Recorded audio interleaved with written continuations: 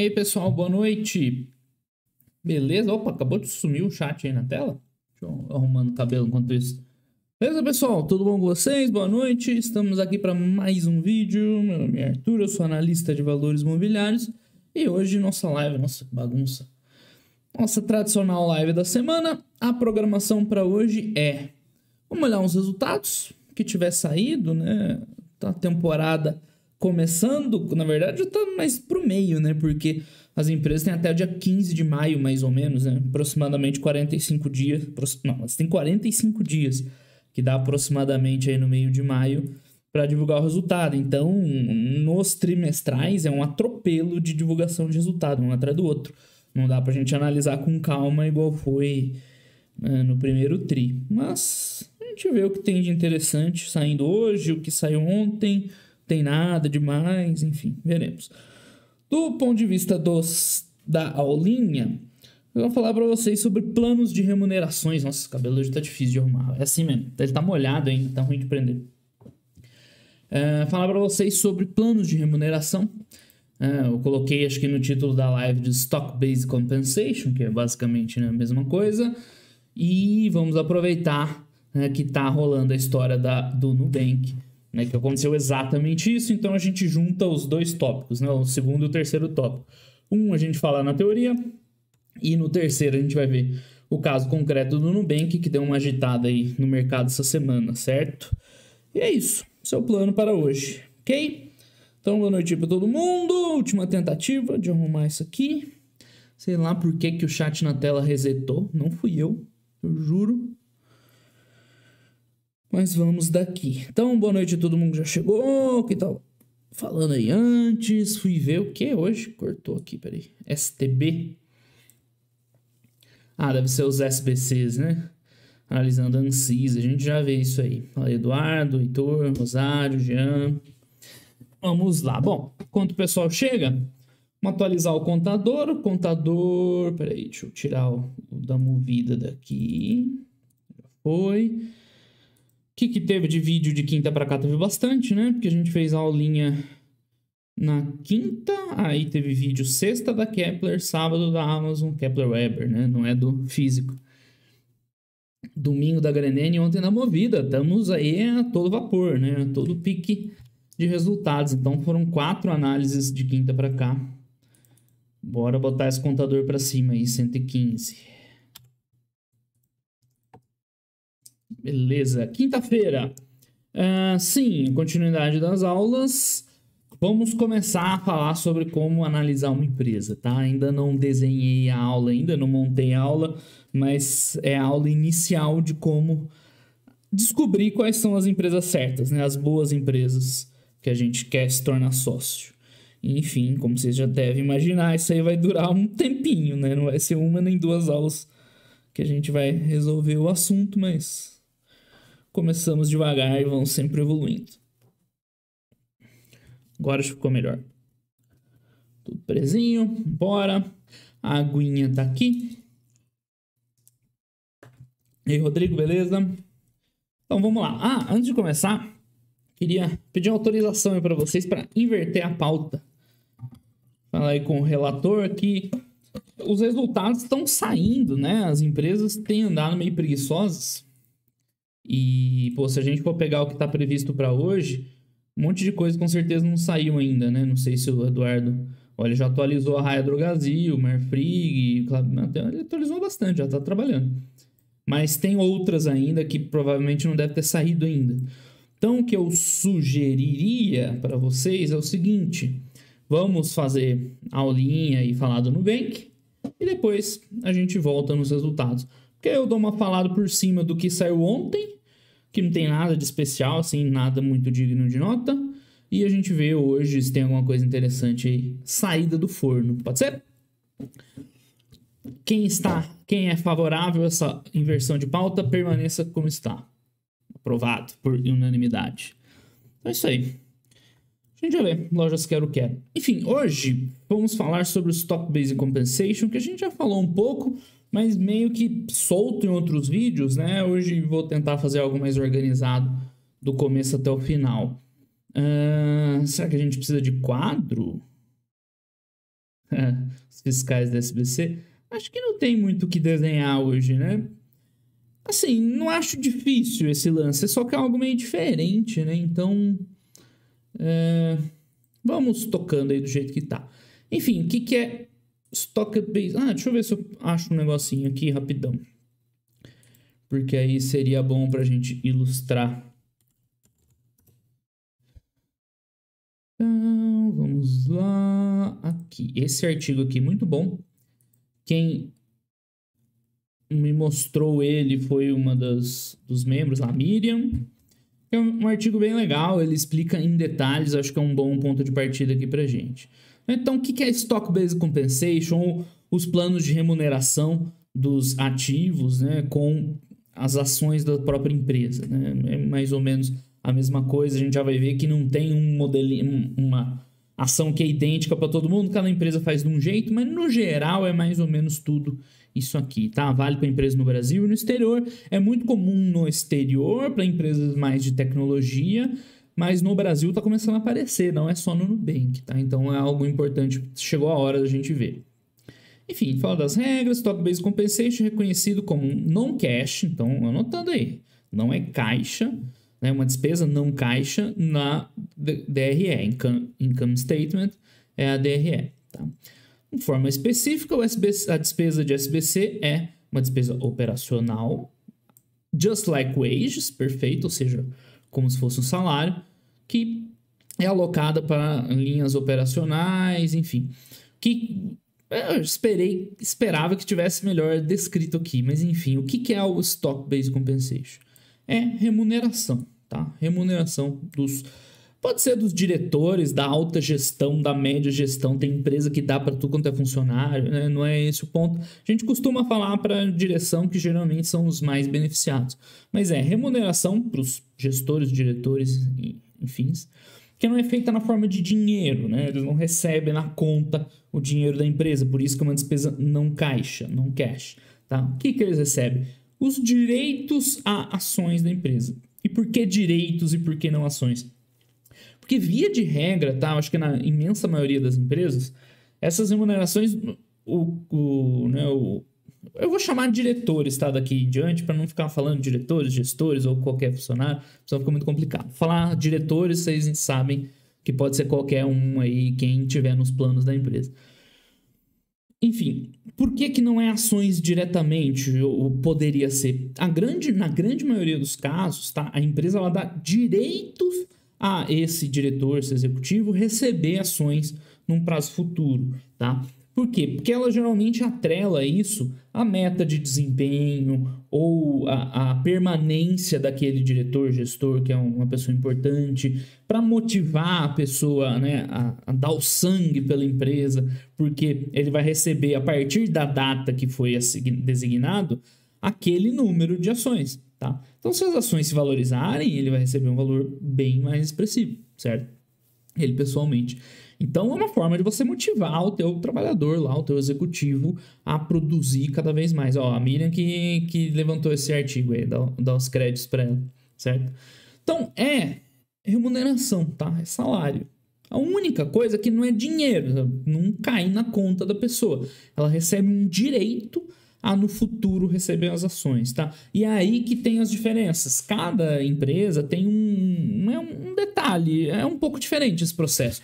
Então, algumas é por meio de opções. Você recebe uma opção uh, que dá o um direito a subscrever no futuro. Outras são ações mesmo, só que ela geralmente ela tem um vesting. O que, que é vesting? É um período sobre o qual a pessoa tem que aguardar para de fato poder mexer naquela grana e tudo mais, tá? Então, nesse ponto varia, tá? Cada empresa vai fazer de um jeito. No final, acaba que dá mais ou menos no mesmo, tá? Não é diferente.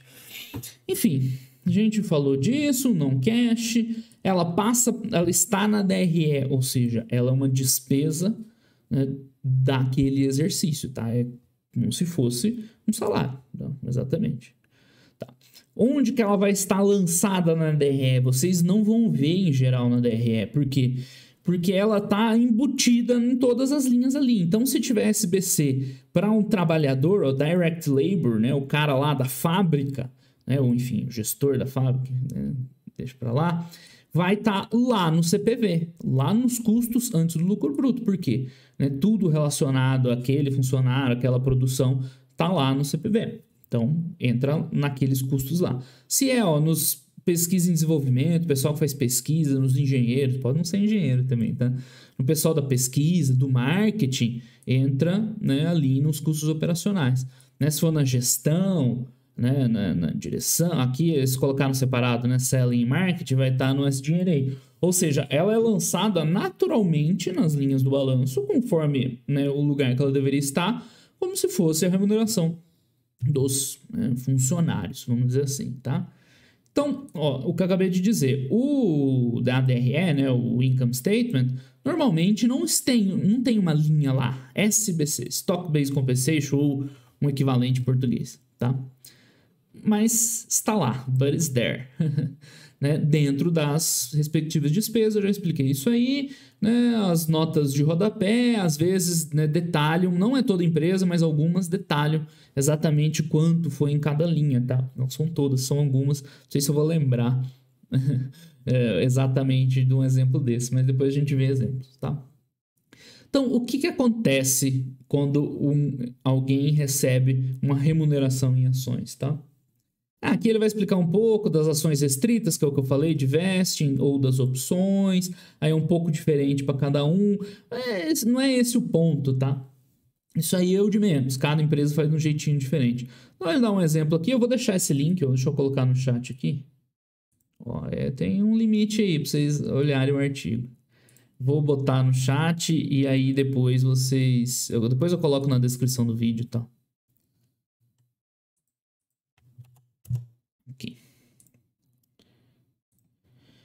Depois eu vejo as perguntas, tá? Pra eu não quebrar o raciocínio mais do que eu já quebro sozinho. Então, vamos supor aí, ó, Jones Motors, uma empresa, né, pagou aí para seus funcionários 900 mil ações, né, o preço hoje dela é 10 dólares por ação, e é aquilo que eu falei do vesting, né, os funcionários não podem mexer nessas ações durante três anos. Geralmente, elas ficam custodiadas pela própria empresa, tá? Geralmente o cara, né, ou numa instituição financeira, mas a serviço da empresa, nem cai na conta assim do cara, tá? Aí ó, o vesting, que é a, materialização, só ocorre se o, né, os empregados ficarem por dois anos, senão a forfeited, ou seja, ele perde o direito a isso aí. Esse é um exemplo, tá? Pode estar tá ligado a metas, pô, vocês vão receber se crescer tanto o lucro, se o NPS for tanto, enfim, isso aqui vai variar, tá? Então, o, que, o lançamento vai ser né, um débito, ah, é que aqui ele vai ficar diferente, né? Enfim. Mas para o que a gente precisa saber aqui é o suficiente, né? Então, entra como uma despesa, 9 milhões no caso, né? 10 vezes 900 mil, tá? E aumenta a base de ações da empresa. É basicamente isso que acontece, tá? Então, né, o que eles estão falando, nada acontece, né? Entra uma conta no patrimônio líquido, que é né, o, as ações emitidas, e a despesa. Tá, contra equity, state income. Isso aqui eu não vou entrar em detalhes, porque pode mudar de uma empresa para outra. Não é o ponto mais interessante para a gente, né? É mais técnico um pouco, tá? Uh, aí aqui ele dá um exemplo usando opções, que é mais ou menos a mesma coisa, só que aí muda o valor, como que elas são avaliadas, que para você ter o valor presente das opções, você precisa usar o um modelo lá de Black Scholes. Enfim, não é o que nos interessa essa parte aqui, tá? Deixa pra lá. Stock Options, não sei o que. Ah, ele termina aqui. Enfim, tá, tá. É ok, a gente pelo menos descobriu o que, que é vocês viram, né? Esse sitezinho é legal, o Wall Street Prep. É que assim, eles dão só um gostinho, igual a gente viu aqui, e depois eles têm um conteúdo fechado deles lá, né? A gente até viu que eles abrem acho que sete por mês. Eles têm curso e tal. Mas é, serve um pouquinho aí para ver algumas coisinhas. Então, ok, a gente já sabe o que é. É uma remuneração para os funcionários, vou dizer funcionários de maneira geral, melhor que diretores, que está nas contas da DRE, mas é despesa não caixa. Logo, se vocês prestarem atenção na aula passada, né, não na aula da, das quinta-feiras, mas na live passada, que a gente falou de reconciliação de lucro líquido para FCO, né, se está nas despesas e não é uma despesa caixa, o que, que acontece? Ele tem que ser somado novamente na reconciliação do lucro líquido para FCO, correto? Isso aí a gente já discutiu sobre isso. Então vamos pegar um exemplo aqui para gente. Bom, no Brasil não, né? Vamos pegar o quê? Qual empresa vocês querem ver? Workday, que eu vi que vocês estavam falando? Pode ser. Qualquer uma. Basicamente, qualquer empresa de tecnologia vocês vão achar esses lançamentos. Não só de tecnologia, tá? Vamos ver o da Workday. Então, vamos lá para os nossos demonstrativos contábeis, como sempre. É, saiu o anual, será? É o mais recente? Tanto faz, né? Ver no anual, ver no trimestral. Provavelmente o anual é o mais recente. Cadê? Financial Statements. Enfim, vamos direto para o cash flow. E aqui está o nosso amiguinho, né? É com hífen, depois eu arrumo no título lá. Shared Basic Compensation Expenses. Então, vocês entenderam a lógica, né?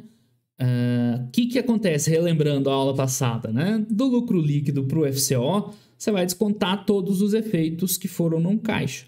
Né? O que foi contabilizado né? pelas regras contábeis, mas que é, não refletiram no caixa da companhia. Esse é um, um evento exatamente no caixa né? Porque a empresa não tirou dinheiro né, no bolso dela para pagar os caras. Ela tem um direito lá, ó, filho. Daqui três anos você vai receber, certo? Então, tem uma reconciliação. Ele é somada, tá? Somada de volta ao lucro líquido para chegar no FCO. E a gente vai chegar e ver, né? Justamente o lançamento logo no começo, né, num valor de 1,1 bilhão de dólares, a gente vê que é um valor relevante, né? Porque a Workday mal deu lucro ali, né? Fechou quase no zero a zero. Aí você vai olhar o, o, o FCO na geração de caixa, pô, né? Não deu lucro, mas está gerando caixa, né? Deve ser uma amortização de intangível lá, receita diferida. Mas depois você descobre, como eu falei na aula passada, né? Você tem que ver o que está acontecendo para aumenta, quando aumenta assim, que a maior lançamento disparado é o Stock Based Compensation, certo? Então, é assim que a gente identifica. Pois bem, quais são os impactos, né? Que eu vi que teve gente que já perguntou. É, a princípio, né, no curto prazo, não impacta a empresa. Ela não botou grana na, na mesa, não aconteceu nada. Porém, no futuro, né, a hora que essas opções forem entregues, as opções, as ações, Phantom Store, Phantom Option, é, tanto faz o modelo. A hora que o cara receber a ação da empresa, seja subscrição ou não, o que acontece? Vai aumentar a base acionária, tá? Então, isso que é o cruel do SBC. Você olha, parece que não é nada demais. Ah, é um efeito não caixa aqui, foi descontado. Beleza. O problema é que você só vai ver o impacto 3 anos, 5 anos, vai depender do, do, prazo lá da empresa, e vai acontecer justamente pela né, expansão da base acionária, o aumento do número de ações. Que nessas empresas tipo a Workday, eu não sei se já é visível. Ah, a Workday é uma que, que abre aqui, ótimo, tá? Então, deixa eu voltar um pouquinho. Lembra que a gente falou, na DRE não tem nenhum lançamento aqui, né? Stock-Based Compensations. É o que a gente leu no artigo lá, é simples. Ele está permeado aqui nos custos todos. E a Workday, ela abre bonitinho, né? Acho que deve ser uma tendência, as empresas devem começar a fazer assim. Então, ó, né?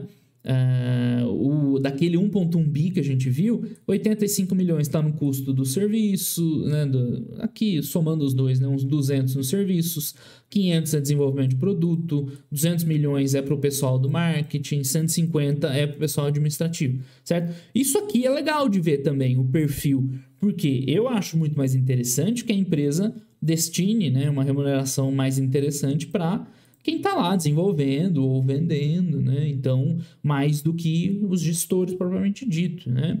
Claro, cada caso é um caso, né? Não dá para botar uma regra, mas eu gosto, por exemplo, desse perfil da Workday, né? Do 1.1 bi que eles pagaram para funcionário esse ano, né? Simplificando a história, só 150 milhões foi para direção. O resto foi para o povo que está trabalhando mesmo. Tá, quer dizer, não que a direção não trabalhe, né? Mas enfim, acho que vocês entenderam. Então, algumas empresas têm né, dado esse disclosure. Não são todas, tá? Pelo que eu tenho acompanhado.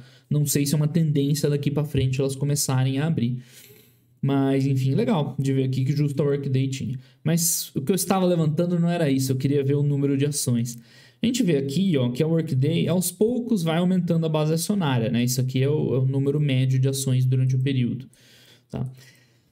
Então, o impacto para a empresa, né? Tem uma parte positiva, você está pagando os teus funcionários lá, que querem continuar trabalhando cada vez mais, mas como tudo na vida, tem essa parte negativa.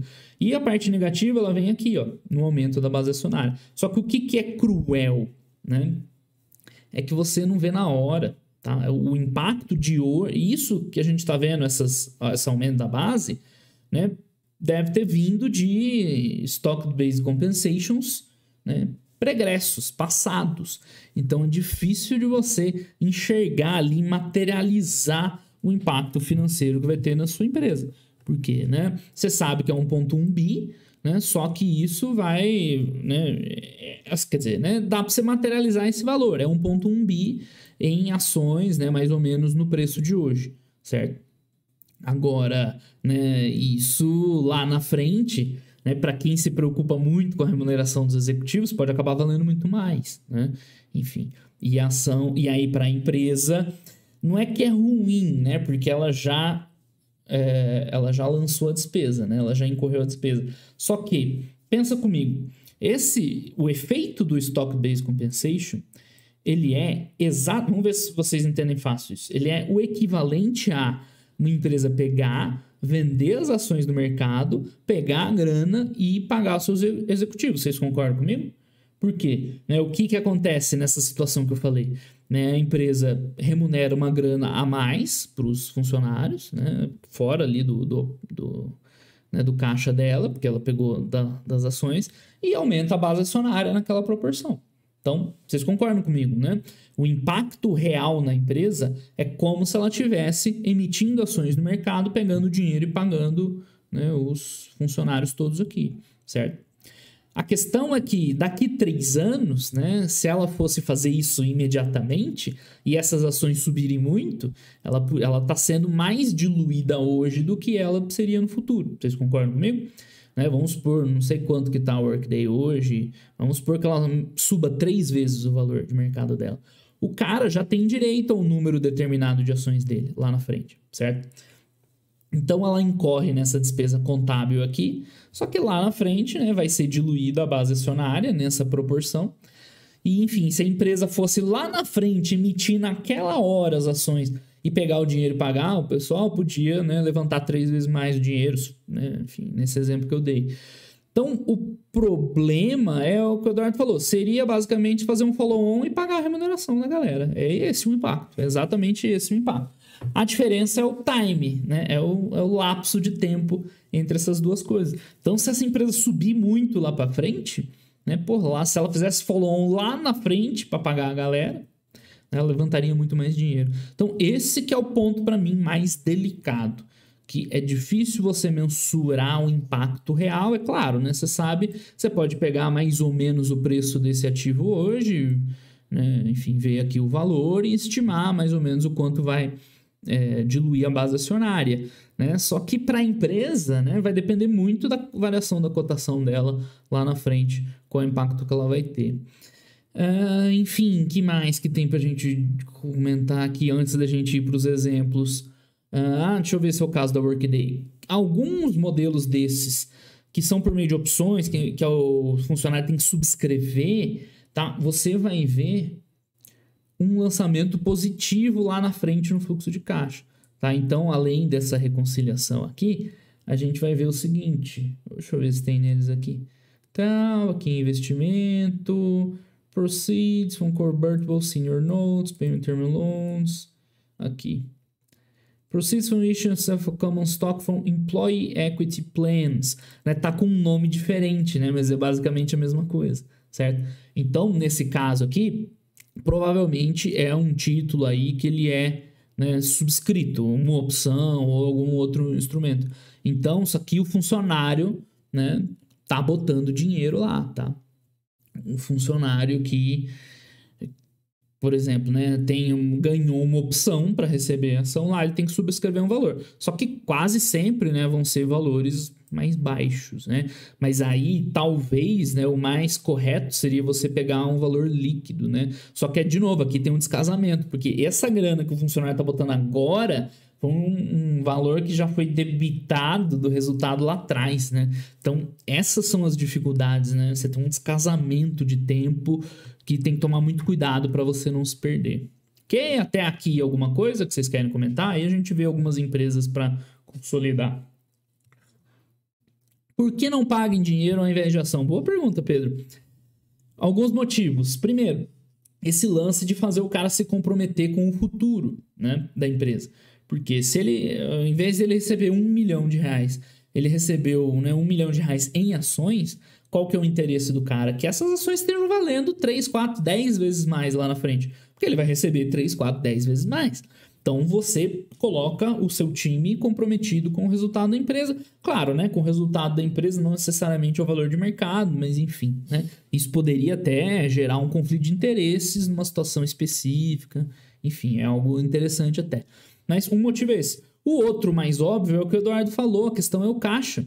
Né? Senão, a Workday teria, né, que ela teria ficado quase zerada no caixa. Aqui o caixa, fluxo de caixa, certo? Se ela tivesse pago isso aqui em grana, ela não tem grana, velho. Ela não, tinha, não teria gerado resultado, certo? Então, essas empresas que estão crescendo... Por que, que é empresa de tecnologia que faz isso? Empresa que está crescendo muito, tá?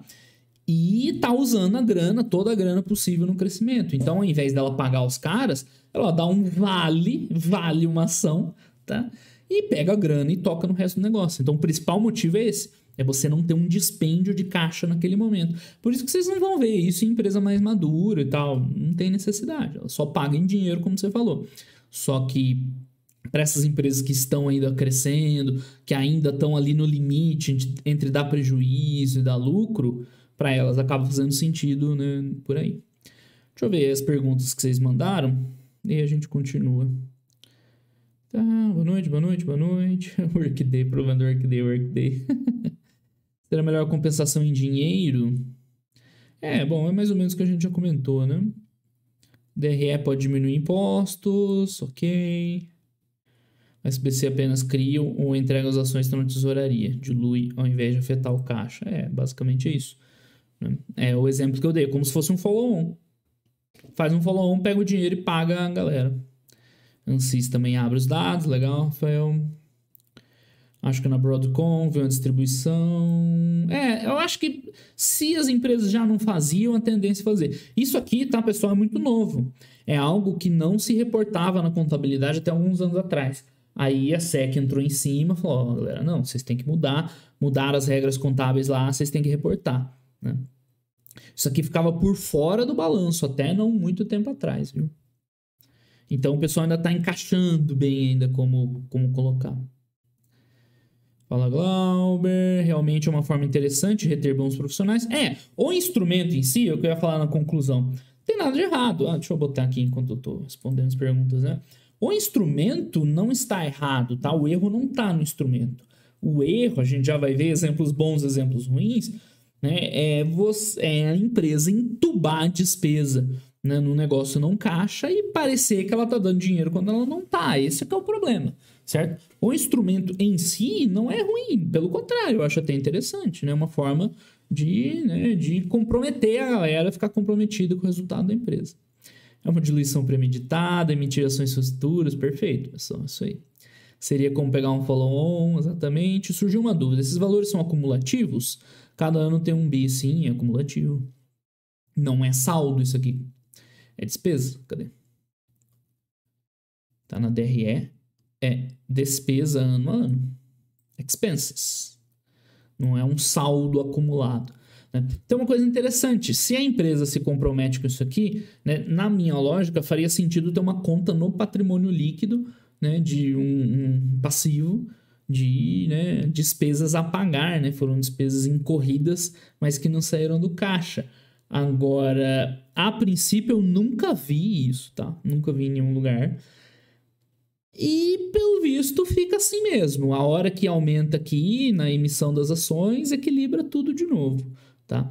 Não sei se tem a ver com o fato de ser via stock options, ou via vesting, ou via phantom shares e tal, né? que de verdade aquelas ações não existem naquele momento. É engraçado isso aí, né? Você paga o cara com uma ação que não existe ainda, ela vai ser emitida lá na frente. Então, talvez não fizesse sentido você ter uma conta, um passivo, né, que seria né, esse, essa remuneração. A verdade é que não tem isso. Vocês vão olhar, quer dizer, eu nunca vi, pode ser que tenha em algum lugar, mas eu nunca vi lugar nenhum assim, obrigações futuras, né, com para remuneração. Não. É, talvez fizesse mais sentido para mim, mas enfim, né? Quem sou eu para falar isso? Tá, isso aqui a gente já falou, porque não paga dinheiro, o Workday vale 50 bi hoje. É, é mais ou menos isso que o Sam falou, não é uma conta simples, grosseira, é mais ou menos essa. Né? Se pagaram um bi, né, é o equivalente mais ou menos a 2% da empresa. Tá? Eu já vou falar de como analisar né, o, o stock base, se é relevante, se não é relevante. E, é, e passa exatamente por isso. Não tem como acompanhar aqueles macro trend, share standing? Sim, Rafael, uma das formas é aquela. Só que você tem que cuidar, porque quando a empresa é muito está iniciando, ainda não aparece, tá? A gente já vai falar disso. A única maneira da empresa diminuir é só recomprando? Sim, Rafael. Acho que sim. Não consigo pensar em nenhuma outra forma. Só recompra. Ah, cadê onde é que a gente parou?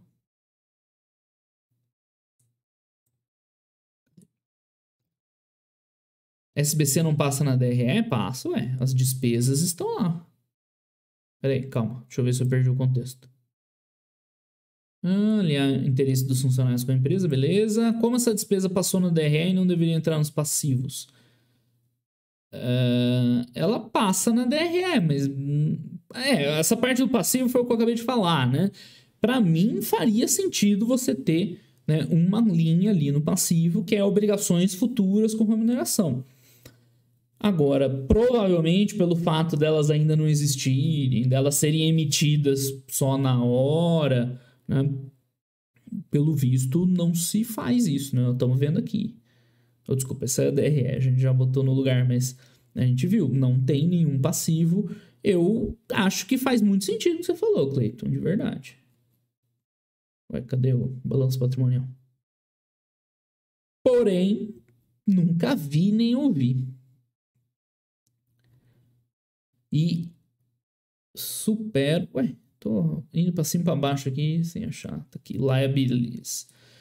Porém, eu suspeito que deva ser por causa disso, porque são instrumentos que nem existem ainda, mas não sei. Beleza, Pedro. Como o cara vai alimentar a família? Não, é que não é assim também, é só uma parte da remuneração. Né? O cara ganha o salário normal dele e mais uma remuneração variável nesses programas, tá? Calma, ele recebe salário também. Vê alguma empresa que impacta, impacta tanto, a gente já vai ver. É isso que o Fernando falou, né? Recebe salário normal e tem mais um componente variável. Isso. Vivo faz isso para alguns profissionais, não sei se é recorrente. Deve ser, Paulo. Quem faz, geralmente faz sempre. Fora que pode vender, depende do contrato. É, depende, tem N situações. Tem umas que é, fica congelada muito tempo, outras não, outras é na hora, tá? A gente tá falando de uma maneira geral aqui, vai depender de caso a caso, com certeza. Pois é, eu concordo com o Eduardo falou e que o pessoal falou lá em cima. Também faria sentido para mim ter um lançamento desse no passivo, mas até onde eu vi, não tem. Se alguém vê algo diferente, me avisa aí, que eu nunca vi. Própria Vale tem. Problema tá se enganar que o FCL tá bom quando na verdade tá inflado. Perfeito, mas os problemas começam aí. Acho que não entra no balanço que a pessoa tem direito na hora. Eu imagino que é isso, Yasser, mas não sei bater o martelo para vocês. De fato, é um problema, né? Você não sabe quanto que vai valer no futuro isso, como é que você vai... É complicado, velho mas eu concordo com vocês. Accrued compensation? Ué, não sei, cara, tem que ver os detalhes. Onde você viu accrued compensation? Aqui. Cara, isso aqui tá com cara de ser algo normal, né? Da, do, do, da remuneração normal, né? Até pelos valores, não parece ser nada a ver com isso, mas enfim. Ver os detalhes, não sei. O problema seria a contraparte no ativo, de fato. É, é complexo mesmo, eu entendo. Segundo problema, mensurar impacto é difícil, é preciso analisar o negócio. Exatamente. Vamos falar de XP. Onde tem crescimento, como nascer esforços. Enfim, vamos ver. É, vocês estão com dúvidas práticas, mas beleza. O conceito acho que todo mundo pegou. Pelas perguntas de vocês foram boas, vocês entenderam. Agora vamos ver quando é bom, quando não é bom tal. Né? Podemos pegar, começar aqui até da Workforce aqui. Workday, desculpa. Certo? Na Workday, a gente viu que é um valor relevante. Como eu sugiro vocês acompanharem? Sugiro, tá, pessoal? Como isso aqui é um negócio novo, vocês não vão achar em livro, em nada disso, tá? Até na internet é difícil de achar material sobre. Então, como eu faço, e eu sugiro vocês acompanhar, são duas principais análises que eu faço. Uma é do fluxo de caixa operacional sem o, o efeito do SBC para entender se a empresa está dando dinheiro, vocês concordam comigo? Quer dizer, deixa eu falar os dois jeitos. E o outro é o que o Sam, ou a Sam, não sei, colocou lá atrás, que é você ver o quanto isso, estimar pelo menos por cima, o quanto isso vai se refletir em diluição para a empresa lá na frente. Por quê? Vamos por partes. Primeiro, né, da reconciliação. Isso aqui é importante, exatamente quem falou, o Ismael falou lá atrás. Porque se você está analisando aqui, estou vendo o Workday, Tá, empresa é isso, aquilo, né? Interessante, ela trabalha com, com softwares de gestão lá e tal, nem lembro já. Pô, o pessoal fez um vídeo, apresentação boa dela, já nem me lembro. E você olha, né? Pô, a empresa só dá prejuízo, não sei o quê. Aí você vê na coluna de cá, ó, mas o fluxo de caixa tá crescendo, né? Pode ser uma Amazon da vida. Vocês lembram do, do perfil da Amazon lá nos anos 2000? Era parecido. Né? Não era igual, tá? Já vou adiantando. Mas era parecido. A Amazon ficava com um lucro sem sair do lugar lá, prejuízo, e o fluxo de caixa, ó, crescendo ano após ano, assim, lindamente. Aí você, opa, tem alguma coisa boa aqui. Então, esse é o problema número um. Você vai olhar o fluxo de caixa operacional, dá impressão que. Ah, Sam, desculpa então. Sam. É, eu não vejo aqui, fica muito pequenininho.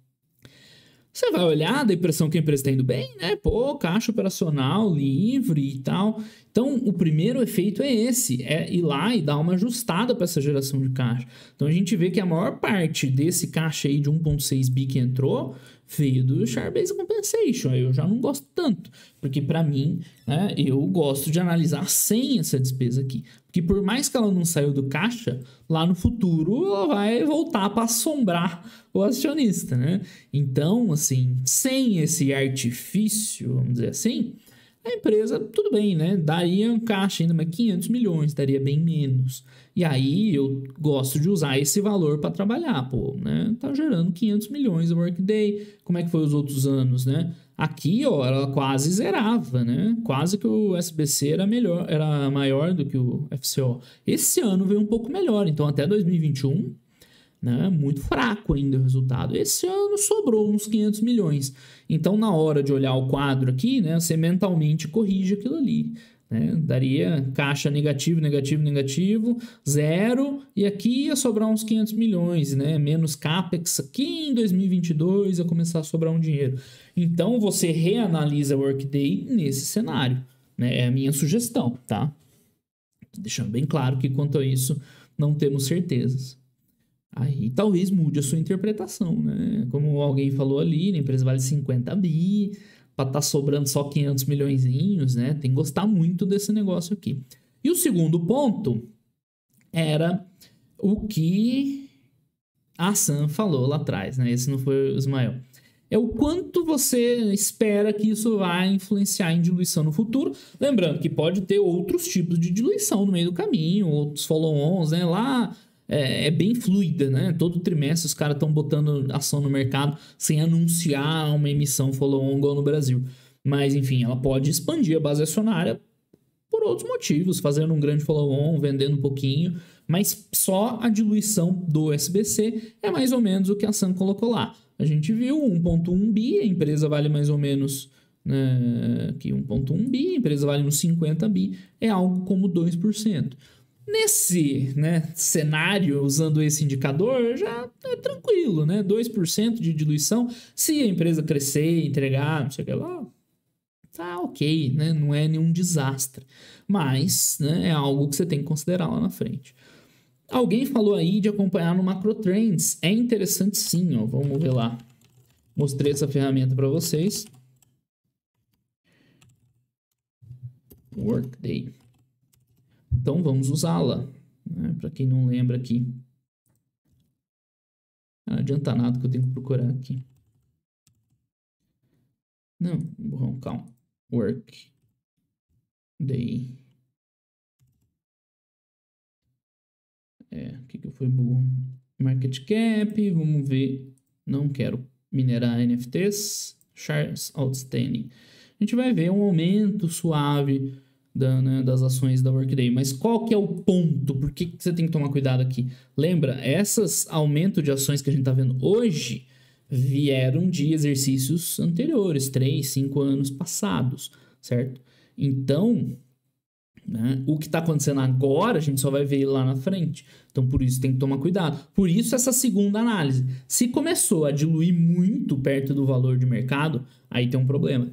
Né? Aí sim você vai ver uma curva dessa aqui aumentar né, lá na frente. Então, são essas duas análises que eu faço. Uma é ajustar esse FCO né, e ver se a empresa geraria dinheiro mesmo se pagasse essa galera toda no cash, que para mim é importante para análise. E segundo, tentar estimar mais ou menos, é isso aí, macro trends, estimar mais ou menos né, um impacto futuro na diluição da empresa. Né? No caso aqui não é um problema ou dois, mas o um eu já não gostei muito, né? eu achei razoável.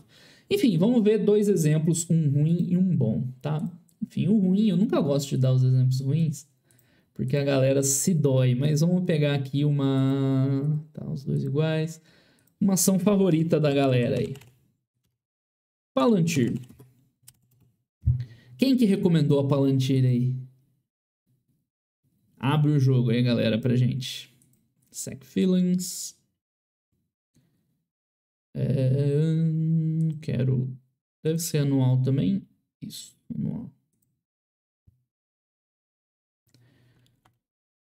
Entrega aí quem que foi o bilionário que recomendou ela. Financial Statements. Vamos direto no, no, no fluxo de caixa, né? Ah, essa aqui eu mandei esse print hoje pro Eduardo Cavalcante, por isso que eu dei essa. Quem viu stories deles já é justamente isso aqui. A gente tava conversando hoje de manhã sobre isso e eu já separei pra gente conversar à noite. Palantir, ela vem de um prejuízo operacional, é operacional, prejuízo contábil, né? Seria lucro líquido, ou melhor, prejuízo líquido, né? E gera um caixa positivinho aí, né? Positivou. Então você, pô, né? Empresa começou. Não, Palantir não. é uma empresa lá, eu nem lembro do que, que, que ela faz, mas essa tá na boca da sardinhagem. Tá, é coisa de dados. Né? Não lembro exatamente. Mas pode falar, ah, mas tá gerando um caixinha ali, né? Deve ser uma depreciação e tal. Lembra que eu falei na aula passada, se é quando tem uma discrepância entre o prejuízo contábil e o. Quer dizer, pode ser lucro, né?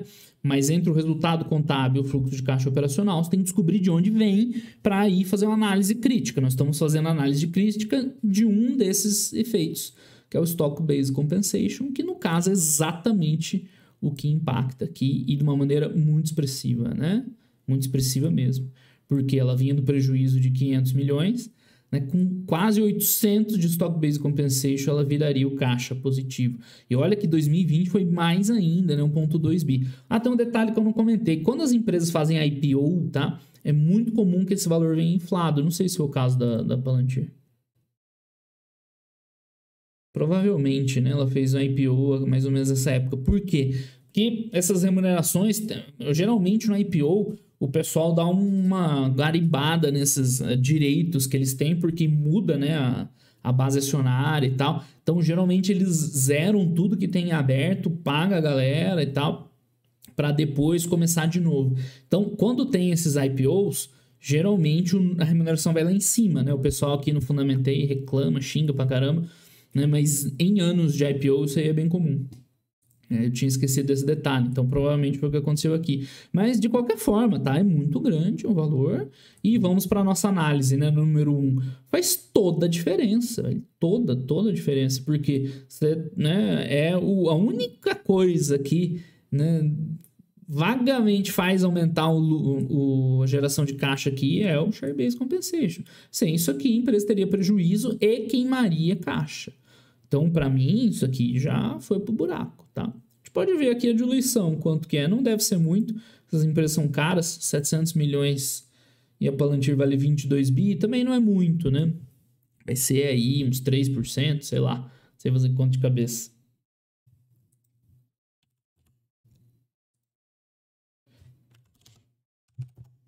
Ah, 3%. Tô bom de, de conta de cabeça.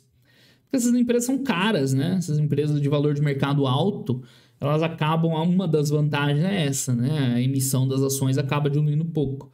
Mas ainda assim, né? Não é legal. E alguém comentou um comentário bom, Rafael. 2% não é nenhum desastre? Não, não é nenhum desastre. Agora, se for ano após ano, 2%, 2%, 2%, velho, machuca, tá? Tem que ter um crescimento sólido, assim, para compensar. Né? É importante essa observação do Rafael, é bem importante mesmo. E, né, de uma maneira geral, essas empresas tendem a fazer isso recorrentemente. É só olhar aqui, né?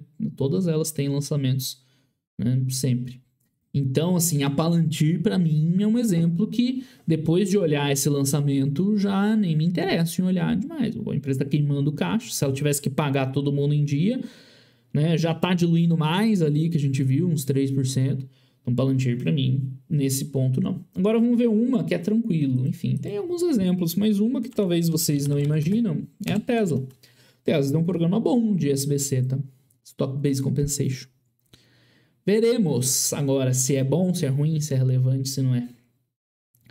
Uh, vou pegar o último aqui. 10K, mas dá no mesmo. Vou pegar o último anual. Vou pegar o último anual, vai. Pode estar tá distorcido, talvez. Nossa senhora, né? Mas aí quebra as pernas. Tá aqui. Bonitinho. Fluxo de caixa da dona Tesla. Ó, achamos Stock Based Compensation. Não é um valor baixo, tá? 2 bilhões de dólares. O maior que a gente viu até agora, né? De todas as empresas. Porém, contudo, entretanto, a Tesla né, já tem um lucro contábil de 5 bi e está gerando 11 bi de caixa operacional. Então, por mais que os dois né, seja o maior valor que a gente viu até hoje, né, até, até hoje, né, a gente olhou duas empresas, né, mas se você descontar esse aqui, ela ainda está gerando um caixa bom, ainda dá 9 bi de FCO. Entendeu? Então, nesse caso aqui, se a gente ajustasse o SBC né, para esse FCO da Tesla, continuaria, dá lucro contábil, ainda geraria muito caixa. Não é 2 bi aqui que atrapalha a análise dela, né? Então, tá tranquilo. Né? Nesse caso aqui, o impacto é muito menor. Ela continua sendo empresa lucrativa, continua gerando bastante caixa, né? E, enfim, não é essa remuneração baseada em ações que está mascarando um resultado dela, né? Continua. Se falar para você que a Tesla gerou 9 bi e não 11 nesse último ano, não muda tanta coisa assim. Né? Se você quiser fazer uma proporção disso, né? o quanto do FCO vem da vem do SBC, né? Seria uma possibilidade. Você vai pegar aqui, por exemplo, 21, 21 por 11,497 e daria quase 20%, né? Não é pouco, mas é razoável. Quanto que o da Palantir não tem nem como a gente fazer, porque era, ah não, era positivo. É, mas ele virou do negativo positivo, né? Não dá nem para fazer essa continha aqui. Mas enfim, o da Tesla é mais aceitável. Sem contar que 2 bi pro valor do mercado da Tesla não tá nem costas, né? Essa aqui pode ir pro resto da vida, que não vai fazer nem costas, vai quase um trilhão. Né? Então, os 2 bi é 0,2%. Né? Então, para Tesla é um impacto não é pequeno. Enfim, tem outras empresas boas também, tá? Deixa eu mostrar aqui a, a Autodesk, que a Autodesk tem uma outra coisa legal para ver. Vou fechar aqui o da Tesla, que a gente já viu. RI não, no exterior é IR, tá? IR aí aparece o site dos investidores.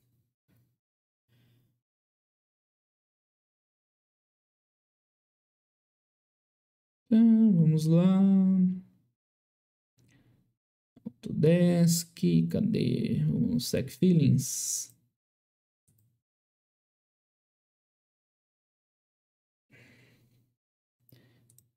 Hum, esse tem o último anual. A gente tá vendo todos os anuais, né?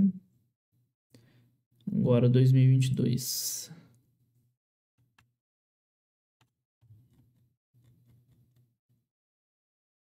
Financial Statements. DRE.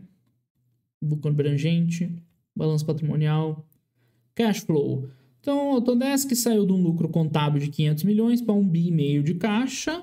De onde vem? De onde vem? Tem outros lançamentos, receita diferida, né? Mas Stock-Based Compensation é um e é importante, né? Junto com a receita diferida. Então, aqui não é só o Stock-Based Compensation que está puxando. Mas, bem ou mal, né? Dá para dizer que é uns 30%, um pouquinho mais, né? 34%, isso aí eu sei fazer de cabeça.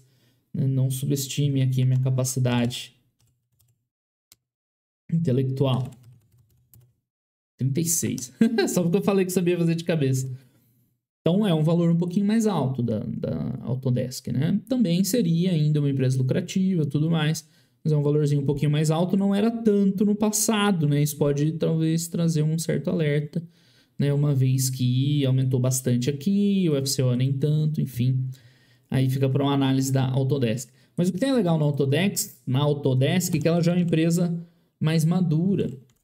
Então a gente já consegue ver o movimento na base acionária dela um pouco mais estabelecido. É, market cap. Né? É só porque eu ia falar. Ela tá reduzindo a base. Foi mal, pessoal. Não, mas aqui é o efeito que a gente tem falado, né? Tem outros impactos na base acionária. Então ela tem recomprado e aí está reduzindo. Pô, por que, que eu lembrei que eu achei que ela estava aumentando bastante a base? Não, na verdade não, está reduzindo quase nada, né, merreca, mas está reduzindo a base acionária. Então esquece que eu falei. Ah, era, era interessante por causa disso. Ó. Vamos ver lá no fluxo de caixa que que Autodesk. Agora eu lembrei o exemplo que eu queria usar ela. Não é aqui no fluxo de caixa financeiro. Tal, né? Então eles estão emitindo ações, tá? e. Ah, não, desculpa. Esse proceeds, tá? É provavelmente o que o pessoal tá lá subscrevendo. A gente vai ver, são sempre valores bem menores do que a remuneração em si. Só que o que, que ela está fazendo? Ela está recomprando ações e diminuindo a base. Então, na Autodesk, o que acontece? A gente não está vendo aquele impacto lá atrás porque a empresa está recomprando, recomprando bastante né, usando o resto do caixa que ela gera, tá? Para recomprar e diminuir a base acionária, como a gente viu aqui, como eu me envergonhei, porque eu achei que ia estar tá aumentando e estava diminuindo. Então, é um exemplo interessante também, porque no futuro a empresa pode mitigar esse impacto da diluição recomprando ações. É uma possibilidade. Só que, né, aquela ação emitida lá atrás já foi. Então, se ela recomprar depois mais, né, é, né, ela poderia estar recomprando sem ter emitido lá atrás, entendeu? Isso não apaga o impacto daquela remuneração passada. Né? Eles só equilibram a custas de novo caixa, né? Então é um novo evento, tá? Mas é interessante ver isso aí na Autodesk, como né, pessoal pelo menos está comprometido em recomprar, só que não é... só que eles não apagam aquilo que foi feito no passado, que foi feito foi feito, tá? Eles só estão compensando, mas com dinheiro novo, né? Um dinheiro do presente e não daquela época. Então, é mais uma coisa você olhar nesses casos, tá? É importante. Eu lembrava que o Autodesk era um exemplo bom, mas é diferente do que eu lembrava. Ok, pessoal, os que vem ANSYS, vamos ver. Mas é a mesma coisa, basicamente. Vou deixar esse site aberto lá. ANSYS IR. E aí, é, é o que o Eric tá falando, a recompra sai do caixa do mesmo jeito, certo? Então, se ela não tivesse emitido lá atrás, ela tem uma base acionária menor ainda, tá? Esse é o ponto. Não apaga o que foi feito no passado.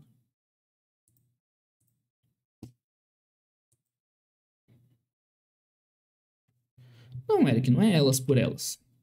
Porque ela fez uma despesa no passado. Ah, entendi o que você quis dizer. Elas por elas, tipo, que agora ela tem que tirar dinheiro do caixa para recomprar, que na época ela não tirou do caixa para pagar os caras, né? Entendi o que você falou. Sim, é verdade. Só que a Autodesk, o que aconteceu com o preço dela? Em três anos. Enfim, agora ela tá caindo. Vamos pegar um preço médio aqui, ó, 240, 250, vai ficar redondo.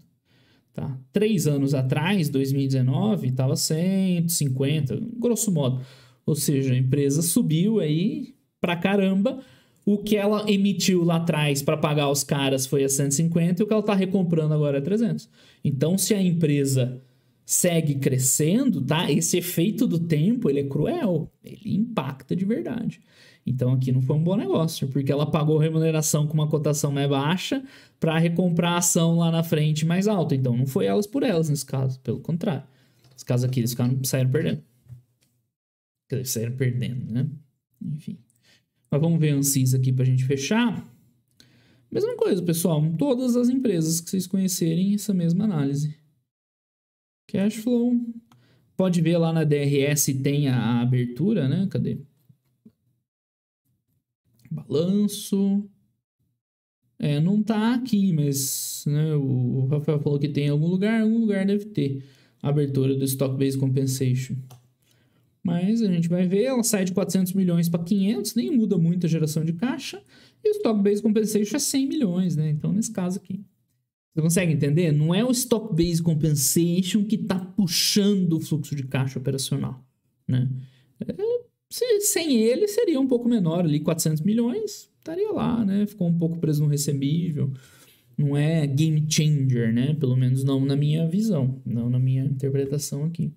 É mais uma despesa ali que foi deferida. Esse sim é um programa tranquilo, não impacta muito a empresa, né? Se a galera lá, os funcionários gostarem, é bom e tudo mais. ANSYS vale bastante também, né? 24 bi, entendeu? É o menor de todas, né? 160 milhões em 24 bi não é nada. Não é nem 1%. Então, no caso da Ansys é de boa. Ok, pessoal? Liquidamos essa questão? Eu sei, assim, é um negócio meio difícil, é super novo. Vocês provavelmente nunca ouviram falar nisso em nenhum livro que vocês leram, em outros conteúdos. Mas é assim que é, a gente precisa aprender as coisas novas, né? Assim como em FRS 16 foi uma mudança, ninguém sabia nada, né? Porque não existia, e a gente precisou se adaptar, aqui é a mesma coisa, a gente vai se adaptando, né? Não entendi porque uma despesa futura entra no FCO. Aí é que tá. Ela não entra no FCO. Né? Ela entrou no lucro líquido. Ela é descontada para o FCO justamente porque ela não entra no FCO. Sua dúvida é essa resposta, certo? E o futuro ela vai sair do FCF, do fluxo de caixa financeiro. É, é, né? É, é do fluxo de caixa financeiro pela emissão. Vamos lá. Onde a gente parou? 2% de diluição todo ano acaba machucando. Você tem toda razão, Rafael, muito bem observado. Não sei, eu sei que tem o Faramir, Boromir, Palantir, eu não lembro. Tinha alguma coisa parecida? Senhor dos Anéis? Esse boom dessas techs tá aparecendo a bolha de tecnologia? É, depende, né, Eduardo? Tem empresa que talvez concorde com você, mas tem empresa sólida, né? Aí é que tá, né? Vai ser essa a diferença, como quase sempre, né? A diferença está na análise. A Lana estava rindo de algo que eu devo, quando eu devo ter falado lá do, da galera, enfim, sei lá. Mesmo caso do Nubank, a gente já vai ver o Nubank. Vamos ver o caso exato do Nubank. A Alphabet tem três classes de ações, uma sendo exclusiva para funcionários. Não seria melhor? Ah, quanto a isso, não muda, não. Não, se todas têm direitos econômicos iguais, não faz diferença. Posso pedir para. Ah, do ANSYS, né? A gente já viu. Vão descontando, fiquei meio confuso. Se afetava muito? Então, para mim, não. Mais ou menos um quinto né, do lucro. E o market cap, nem 1%. Para mim, de boa, ANSYS. Igual da Tesla, né? Estou fazendo um projeto no Autodesk. o André Veraldo que veio te falar. Recompra sai do caixa elas por elas. Se o preço da ação tivesse igual, aí eu concordo com você se o preço da ação se mantivesse o mesmo, ou, ou né, começasse, terminasse o mesmo, né, a empresa meter um SBC e depois recomprar aquele valor, ficaria elas por elas. Porém, né, na prática, não é o que acontece. Quer dizer, não é o que acontece. Pode acontecer, né? Então, fica bonito para inglês ver. Pois é, isso que eu quis alertar da Autodesk, né? Cuidado com isso, tá? Esse dinheiro para recompra é dinheiro novo. Não tem nada a ver com, com, com cancelar aquela despesa do passado. Porque os REITs vão aumentando o share base com o tempo para levantar dinheiro. Os REITs. Né? Crescer, pessoal, com operação imobiliária é difícil. É, é muito investimento longo de cara para um retorno espalhado no longuíssimo prazo. Tá? Então, operações imobiliárias em geral, né? ou você tem muita missão, como essa, né? e como os FIIs acabam fazendo, ou você vai ter uma empresa que vai rodar com uma dívida mais alta, tipo a Multiplan, né? Então, empresa de operação imobiliária, não construtora, né? Empresa compra o um imóvel para alugar e tal.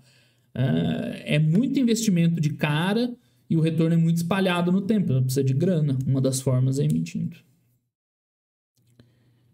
Francisco coloca até no release. Esse é legal, velho. Transparência. Uma dúvida, eu vi que o Elon Musk poder comprar 8 milhões por 70 dólares. É tipo isso. A empresa emite ações e ele paga do caixa, exato entra no caixa e dilui os outros acionistas. É exatamente isso, Vitor. Você comentou bem.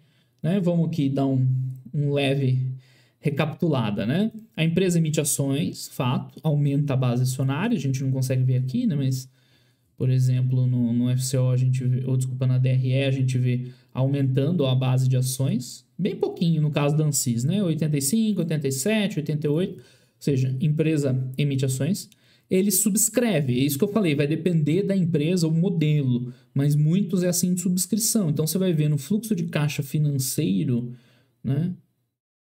Uh, proceeds from shares issued for stock-based compensation. Esse é literal, né? Eles descrevem certinho. Então isso aqui, por exemplo, né, se fosse o exemplo do Musk, seria o dinheiro que o Musk pôs na empresa para receber as ações. As ações a gente viu ali aumentando a base acionária. E dilui acionista, que aumenta o número de ações, e isso está lá no vídeo da diluição, tá? Então, é aquilo que eu falei, pessoal, um conceito vai se somando outro. Tá? Então, lá no começo do canal, eu fiz esse vídeo aqui, ó. O efeito da diluição para os acionistas. Eu tinha uma série de fundamentos, mas enfim, morreu na praia. Aí, cê, aí é importante entender, né? Por que, que a diluição é ruim para o acionista. Por que, que é, comprar na emissão não cancela a diluição. Enfim, deixa para lá. Certo? O outro conceito foi a reconciliação do FCO, do lucro líquido para o FCO, que a gente viu na terça passada. Então, os conceitos vão se somando. Por isso que eu falo que vocês têm que encarar, aprender a investir em ações como se fosse uma disciplina mesmo, uma matéria, uma área do conhecimento. Né? Você não começa saindo fazendo cálculo, você vai aprendendo devagar, álgebra, não sei o quê. Um dia você chega lá no cálculo. Aqui é a mesma coisa. Estruturado. Palantir é a bola do Saruman? Ah, pode ser, não lembro, velho. Aí já é demais pra minha cabeça. Aprendi muita coisa nova desde o final do Senhor dos Anéis pra cá. Essa informação foi substituída na minha mente. Valeu, Pedro. Elas por elas no sentido das perdas. É. Não dilui, mas o caixa foi gasto, né? Star Wars. Star Wars Palantir? Também não me lembro, não. Não, Felipe, não é totalmente diferente follow-on, né? Quer dizer, totalmente não, mas é diferente. Na, aqui no Brasil a gente vê pouco, a gente vai ver agora no Nubank. Calma. É isso. Então, era a bola do Saruman. Aí sim, hein?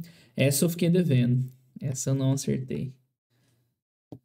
Era o telefone da Terra-média. Ah, tá. O que eles comunicavam lá, né? Que ele conseguia ver o olho. Cara, não lembrava de verdade. Banda sueca de metal. Eu emitir ações diluir a base, o preço das ações não cai. Aí vai depender do mercado, Vinícius. É, o mercado às vezes derruba, às vezes não. Isso a gente viu na primeira aulinha das terças-feiras, né? Que é o efeito. Como é que é? Eu chamei, eu já não lembro o nome que eu dou para as lives. Essa aqui, ó, market cap versus retorno do acionista. A gente falou sobre isso lá. Então, literalmente, os conhecimentos vão se somando. Power metal, nórdico. Muito bom. Já fui bom nisso já ultimamente. ando meio por fora. Ok, pessoal, acho que foi bom, né? Foi, aproveitamos bem hoje aqui, né? Discutimos bem, expliquei, acho que bem simples. Vimos até os detalhes. Esse lance do IPO é um detalhe bem sacado, tal. Então é isso. Olho nisso nas empresas de tecnologia no exterior e fique de olho no Brasil, tá? Tá começando a aparecer. Algumas empresas mais novas estão com esse tipo de lançamento bom observar. Alguma coisa antes da gente ir pro Nubank? Bom, o Nubank é mais um exemplo desses, né? Enfim, por isso que eu aproveitei hoje pra gente discutir tudo isso de uma vez só, né? Fica mais fácil. Vou deixar o texto aqui do Stock Based Compensation, vai que a gente precisa. Nubank tem site em português? Da RI? Acho que tem, né? Home Nubank. Bom, quem está aí de olho no mercado viu que na semana passada teve um certo alvoroço porque o pessoal descobriu. É curioso, né? Porque eu achei que fosse o resultado agora do Nubank, mas não, né? O, o último resultado dela é, é, o do ano passado, ela não divulgou esse trimestre ainda. Então o pessoal descobriu agora o, o SBC da Nubank. Então vamos lá. Eu acho que tem no release. Vamos ver. Se tiver no release, senão a gente vai no famigerado DFP. Lá, lá, Nubank, métricas. Depois eu comento mais sobre o Nubank. O que é isso aqui? ARPAC. Para lá. Custo. Despesa. Resultado. Nada bom. Ok, o Nubank deu, preju... deu lucro? Ajustado, né? Deve estar tá ajustado pelo demônio isso aqui para conseguir virar positivo, mas tudo bem. Vamos ver se tem as, os demonstrativos no final.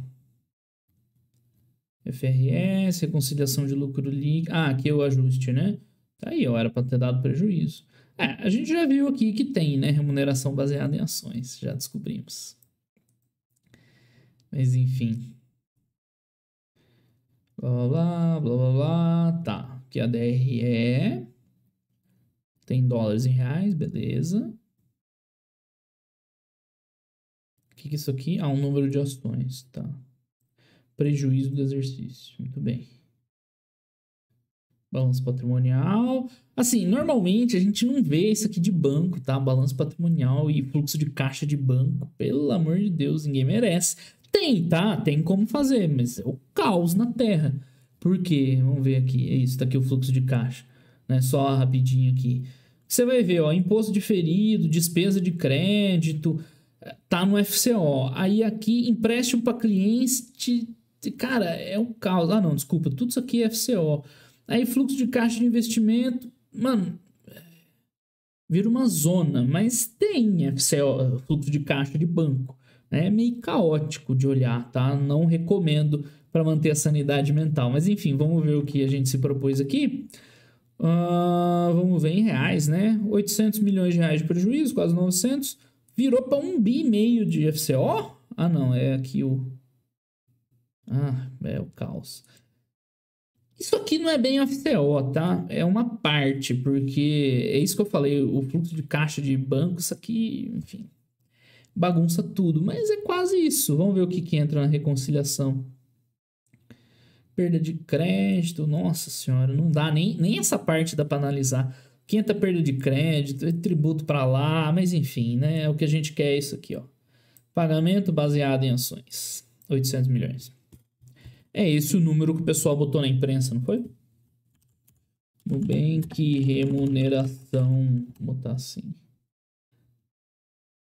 Remuneração da diretoria de 804 milhões. É, quase isso. Não sei da onde veio a diferença aqui, mas enfim. O número é esse, 848 milhões de reais, tá? Vamos fazer o exercício. A diferença é que aqui a gente não tem um FCO para banco, né? Caos FCO de banco. Mas basicamente, né, ele zeraria, que só ele sozinho, né, zeraria o prejuízo, ou seja, né, esse lucro ajustado que eles colocaram lá em cima, né, na verdade a empresa está queimando, só não queima dinheiro porque está né, tendo remuneração que não é financeira, não é paga diretamente. Então, né, só esse detalhe aqui já nos diz muito, né? Porque o Nubank não teve lucro contábil, né? Nunca teve, eu acho. Vamos ver a DRE. A DRE de banco é ok, tá? É meio chato de analisar, mas não tem nenhum problema. Então, sim, né? Sempre deu prejuízo no Nubank. E ele tem uma despesa né, relevante, 800 milhões não é pouco. O que salva é aquilo que a gente falou, né? Essas empresas que têm valor de mercado muito alto, por mais que você... É, no Holdings... Por mais que você dilua, né, ainda vale 27 bi, né? ainda é 3% ainda, né? 834, acho. É, 3% mais ou menos. Ainda não é tanto, mas Pô, um banco que não dá lucro, né, que não tem resultado, não é legal, né? Então, mesma coisa para o Nubank, né? E tem começado a aparecer nas empresas brasileiras. Agora, o que eu queria falar, pessoal, que o problema do Nubank não é esse, né? O problema do Nubank é que ele está anos aí com a base de clientes grande e não consegue dar resultado. Né? Isso é mais crítico que qualquer outra coisa. Não adianta chegar e botar lá um lucro ajustado. Cadê?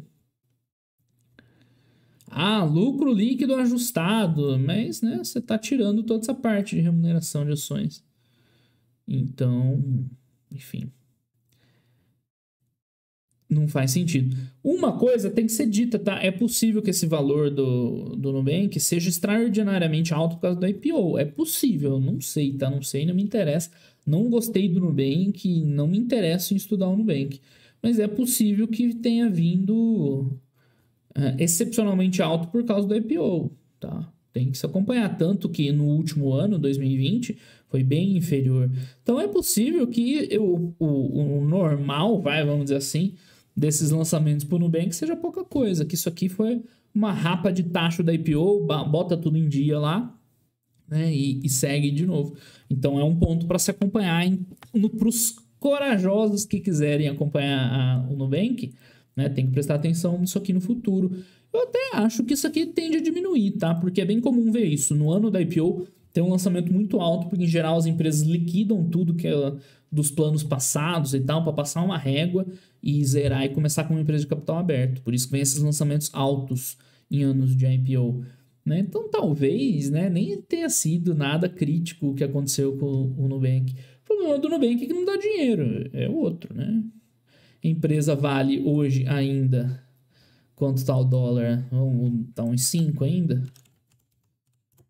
Opa, vezes 5.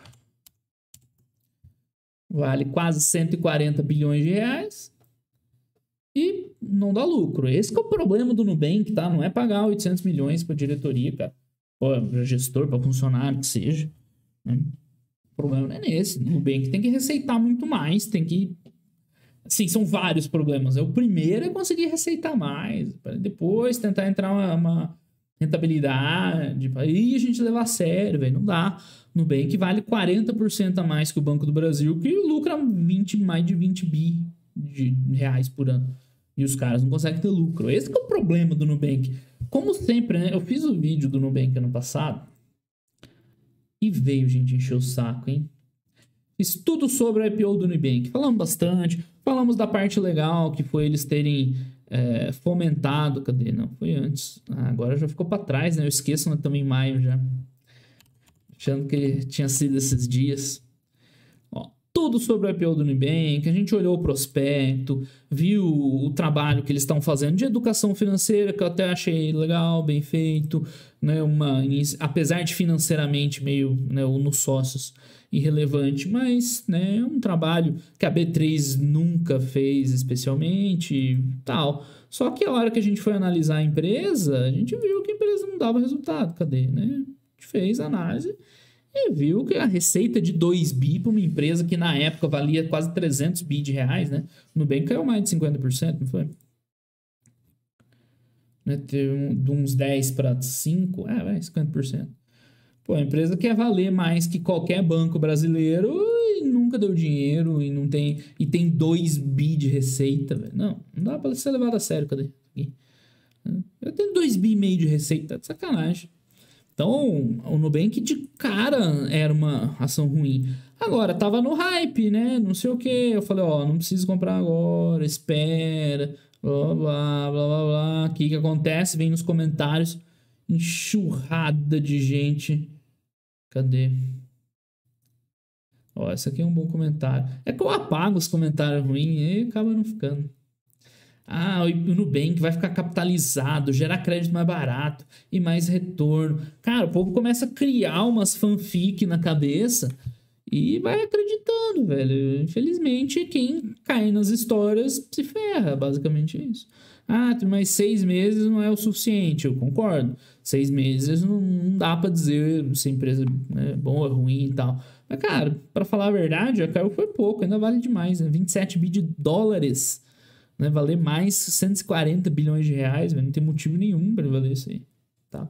Se melhorar, se começar a crescer, beleza, não tem problema nenhum. Você é o primeiro a vir aqui e falar, ó, resultado do Nubank tá mudando, vamos começar a acompanhar. Eu tô fazendo isso com a Wiz, tô de olho na Wiz, falei, agora vai, agora vai. Uma empresa que lá atrás, mesma coisa, falei que ia despencar, um pouco ficou puto comigo, despencou, mas não tem problema, não tem nada contra o Wiz agora. Eu tô olhando, a hora que ela engrenar e tal, pode ser boa.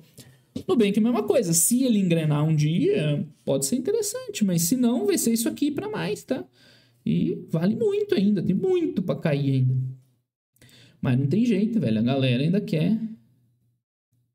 Ó. Esse comentário é excelente, hein? Toda empresa que está ruim, muda, passa, acabou, você fala, prefere esperar. Você não gosta de risco?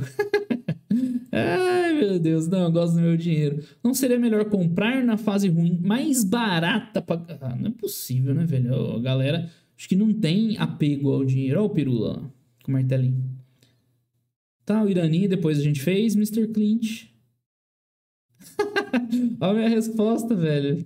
Não tem interesse em analisar essa empresa. Já fiz, tá? Desculpa aí, foi mal. Já tem vídeo da Irani no canal. É, muito bom ó, um coitado aqui, né? Tô com receio, tenho investido equivocadamente. Acontece, velho, mas o bom é que esse cara aprendeu aqui logo de cara. Live boa, empresa ruim. Como sempre, Felipe Cirúrgico. Tá, foram poucos os comentários. Teve mais, é que eu apago. Os comentários são meio babaca assim, eu apago, bloqueio o cara. Então, é legal voltar depois e ver. Até quando eu faço um comentário daqueles lá. Mas eu me redimi, eu fui lá e fiz vídeo da Irani. E, e o resultado dela tá bom, tá? A gente já fala dela. Nos meus erros eu assumo todos e corrijo.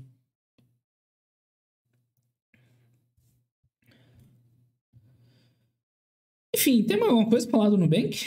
Não, né? Primeiro, nem achei nenhum desastre, tá? Esse SBC aí do Nubank. Achei lá problema dele é outro, né? Um banco que tem N dificuldades financeiras para ter resultado. Pois é, o Irani já me corrigi, tem problema. Não tenho vergonha nenhuma de me corrigir. O problema do Nubank é outro, né? Muito mais sério. Vai agora. Oh, mas ela tem remuneração de executivo. Grande coisa, não dá resultado, não dá lucro, tem uma receita mirrada fraquinha. É, tem uma de executivo é uma, tá na lista de problemas, assim, ó, tá lá embaixo. E outra, eu acho que a tendência é diminuir isso, porque deve ter sido um bônus de IPO, e até o Eduardo falou. Aí o que, que vai acontecer pro Sardião do mercado? Ah, descobriram uma remuneração dos caras, sendo que tá ali, né, no release. Aí no ano que vem vem mais baixo, falou, tá vendo? A gente descobriu, reclamou, os caras baixaram. É sempre assim. O cara, a sardinhada, nem sabe o que está acontecendo. Acontece outra coisa nada a ver. Ela cria um motivo na cabeça e segue a vida como se nada tivesse acontecido. Esses caras não aprender nunca, né? Infelizmente. E aí, 350ml, beleza? Mas mais alguma coisa para falar do, do Nubank? Nem é o mais. Assim, claro, né? Uma empresa que não dá resultado não deveria estar tá pagando bônus vinculado ao preço das ações. Agora, se o Nubank continuar caindo, pode acontecer o efeito inverso, né? Os caras pagaram maior remuneração agora, lá na frente vira merreca a diluição. É, enfim, veremos. Veremos, mas é isso, né? O Nubank, o problema é que não dá dinheiro, basicamente. Um dia começar a dar dinheiro, a gente começa a analisar de maneira consistente, né? Seis meses é pouco? Seis meses é pouco. Mas do jeito que tá, pode passar 10 anos. Vai continuar desse jeito. Hum... Cadê? Tá vendo? Quem perguntou atrás? Felipe Monteiro. Não, follow-on é emissão de ações para levantar dinheiro, tá? SBC, você pagar os funcionários com ações da própria empresa que vão ser emitidas em algum momento do futuro. É isso. Ah, tem uns nerds.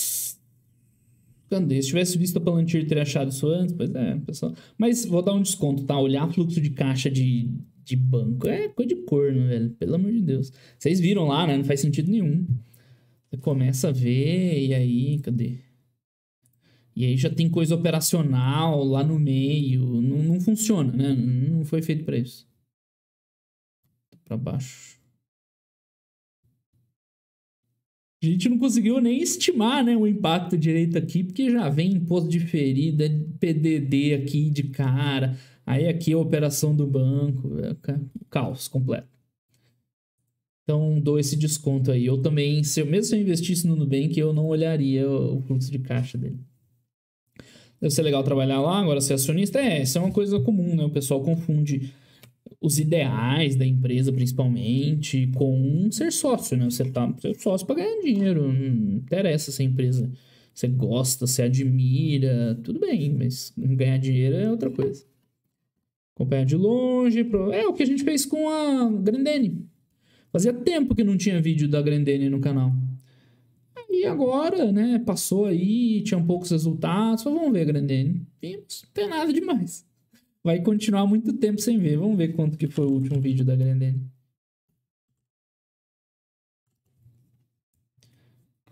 Ó, tinha sido nove meses atrás, quase um ano. Vai olhando. De vez em quando você olha. Aconteceu nada, não aconteceu nada. E o jogo segue. Provavelmente é bônus de IPO, eu suspeito que sim. Aconteceu isso na Ginkgo. É, isso é normal, pessoal, faz parte. Vai fazer o IPO, passa a régua, zera tudo e começa de novo. No IPO os caras ganham dinheiro mesmo, não tem jeito. Por isso que tem gente que nem olha para IPO, é um critério, né? Eu gosto de dar uma olhada, às vezes tem umas exceções que valem a pena, mas a regra é essa, né? Esse preço do Nubank eu consigo entender o da bolha de tecnologia, pois é. Ah, mas tá cheio de ativo aí, de tech, o Nubank é tech, mas é banco, né? O problema dele não tá no tech, tá na parte banco. E vai ter um monte de empresa aí também que vale uma fortuna e... Tudo bem que tem um bom serviço, tomara que dê certo. Seis meses não é suficiente, mas suficiente pra saber que tá ruim. Fala Daniel. Essa da Irani eu que insisti. Beleza, valeu. É, aos poucos a gente vai vendo, né? Que não dá. A galera chega metralhando, pedindo um milhão de empresas. Eu não consigo acompanhar tudo. Aos poucos a gente vai olhando. Boa noite. Problema no Nubank é o CEO dizer que não gosta de dinheiro. Enfim, aí pra mim eu nem chego nessa parte. Aluguel de BDR tá batendo 25%. Cara, sinto muito. É engraçado, o meu irmão me mandou mensagem quando teve IPO do Nubank. Ele mora na França, né? Sei lá por quê. Teoricamente não pode nem investir aqui. Então, domicílio fiscal lá. Eu já cheguei a ver umas ações francesas com ele e tal, mas ele acho que não tá investindo em renda variável. Deve ter um monte de amigo dele enchido o saco lá. Então o negócio ele popularizou, assim, geral, né? E aí é um risco, porque essas pessoas, assim, elas não estão preparadas, né? Elas, é muito fácil delas se enganarem, ou de alguém enganar elas, né? Só conta uma história dessa aí, não, o Nubank é moderno, não sei o que e tal. Vai acabar com os grandes bancos que são atrasados, jurássicos, ineficientes. Ela é tecnológico e tal, e tal, vai dar certo. Olha só que história bacana, né? Só que não dá dinheiro. Então, pro cara que não tem experiência. É até difícil falar, porque até que o cara que está no mercado acaba caindo nessas histórias, né? Mas quando é um evento desse que atinge uma população mais, na geral, mais normal, né? é um massacre da Serra Elétrica, né? Aí, o que deve ter de gente comprou ações da Nubank lá, acreditando na história. Creu.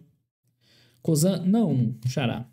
As de álcool poucas empresas que eu não estudo é distribuidor de combustível, de álcool, são poucas. Mesma coisa falar que o preço das ações da Magalu caiu. É, exatamente, Jeremias, perfeito. De vez em quando vem um imbecil com ideia dessa. Não, tá lacrando muito. Se ferrar, se eu pego um cara desse, é ban na hora. Vem com umas babaquices dessa. Mas é isso, o cara põe na cabeça dele um negócio, acontece por N outros fatores, ele estabelece uma relação de causa e efeito com aquela idiotice que ele pensou, e se acha o fodão ainda. Ó, oh, eu pensei, pá. Nossa senhora. É assim que são formados imbecis. Algumas dessas techs estão numa bolha insana, é verdade. Teremos aula 4? Sim, Fábio, com certeza. Semana que vem eu vou estar viajando na casa da minha mãe, mas eu acho que a gente faz normal. Só vai ser sem o croma e tal, né? A gente faz. Tem que ver, tá? Na casa da minha mãe não dá para garantir. Porque aí depende lá, às vezes ela tem uma programação, ou a internet tá ruim, mas a princípio, semana que vem, normal, tá? Mesmo eu tô viajando. Vídeo gravado, com certeza, eu, aí eu gravo e subo a hora que der, mas a internet não dá para garantir, vamos ver. Mas a princípio, terça, quinta, normal. Na verdade, eu viajo quarta, né? Então, a quinta da semana que vem a outra terça, a princípio normal, mas veremos. Não posso garantir. Legal enxergar, só cito depois que o período passou. É, é isso, Eduardo. As pessoas têm uma memória muito curta e as coisas no mercado financeiro demoram muito para se desenvolver. Então ninguém mais lembra. Quer dizer, agora lembrou do Nubank de novo, veio na evidência, mas. É, quer um exemplo? O resultado saiu essa semana. Tá? A gente já vai falar de alguns resultados aí. Intelbras, eu fiz um vídeo também, falei, olha, bem michuruca, mais ou menos.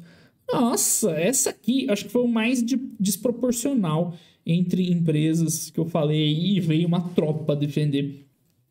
Que a Wiz eu até entendo, né? Tinha o lance, ela chegou a valer muito. Cara, mas Intelbras sempre foi um negócio meia boca. Nunca teve nada demais. Tipo, fora Camil, né? Camil é o concurso. E a galera falando, não, esse é o melhor IPO da bolsa. Sim, bizarro. Bizarro o que, que o povo falou da Intelbras, assim. Como se fosse uma Apple. Nossa, o cabelo tava mais gordinho, hein? Tô emagrecendo. Devagar eu chego lá. Empresa muito boa, estou confiante. Blá, coitado, entrando pro mercado financeiro bem a hora que o mercado tá minguando. Então, produtos são excelentes? Não, aí tudo bem. Os produtos é uma coisa, né? Ó, só o povo me pedindo, velho. Por isso que eu começo a, a, a meter esporro. Porque senão eu não faço mais nada da vida. O povo estudar ninguém quer, só quer me pedir as coisas. Tá, comparando com a Cisco. Acredito no negócio. Nada pessoal, tá? Eu nem vejo quem que escreve, é só pra gente ver o registro. Não sou investir. Ó, pra mim foi o melhor IPO dos últimos anos. Eu lembro, lembrava umas coisas assim. Mano, preso não tem nada demais. Né? Na época era o hypezinho. Quem tá ouvindo ouvir falar de Intelbras hoje? Né? Ninguém. Vamos ver o resultado dela. Assim, não é ruim, ruim a empresa, mas só não vai a lugar nenhum. Aí eu tá do mesmo jeito que sempre foi. EBITDA igual, lucro igual. Não tem nada acontecendo. Melhor IPO dos últimos anos. Então, assim, na hora do calor, mano, o cara acredita em tudo quanto é história e não sei o que. Melhor IPO dos últimos anos. Isso aqui, ó, nem um ano depois ninguém lembra mais da empresa. Certo? O, o, Guilherme devia estar tá lá nos comentários. Espero que não tenha sido. Sim, pessoal, quando eu falo assim de, dos comentários da galera, nada pessoal, tá? Nem quando eu falo aqui na live, não tem nada contra ninguém aí, tá? Se pessoas entendem mal, quer dizer, as pessoas entendem mal, um jeito meio babaca de dizer, né? Mas eu sei que às vezes eu sou meio agressivo, vamos dizer assim, mal educado. Cara, é o, o modelo pedagógico que eu acredito. É esse, velho. Porque se eu não dou um esporro, o cara não acorda pra vida. Tá? O teu problema na vida não é tomar um esporro de um cara na internet. É você tá investindo meio sem saber o que fazer. É muito pior do que. Então, eu dou um esporro para ver se pelo menos o cara acorda, né? Mas peço desculpas, eu sei que eu exagero às vezes, tá? Sorry. Enfim, nada pessoal, tá? Tem muita gente aqui que veio, olhou coisa, falou tal, depois não, não sei o que, aprendi. Eu fico muito feliz com isso, então nada contra, mas só pra gente lembrar as coisas, né? A empresa não é ruim nem é tão boa. É isso. Mas o melhor IPO dos últimos anos, não é? Com certeza. É assim, ó, passa, vem, vai. Ah, outra, essa eu lembro bem. Essa era ruim, não sei nem como é que tá hoje, nunca mais vi. E teve um hypezinho na época. A tal da Aeres, que faz energia. Esse é um caso clássico que o cara cai na história também. Ou oh, energia renovável tá bombando, energia eólica bombando. Vou comprar uma empresa que faz pá eólica. Perfeito, não é? Não, porque a empresa é ruim. então é isso, vamos ver, olha lá, né? Aeres. E eu fiz vídeo bem no IPO dela, tá? Essa. Ninguém pode falar nada. Que foi numa live, na verdade, aqui, ó. Na live, bem no comecinho do ano, logo depois que ela tinha feito IPO. O que aconteceu?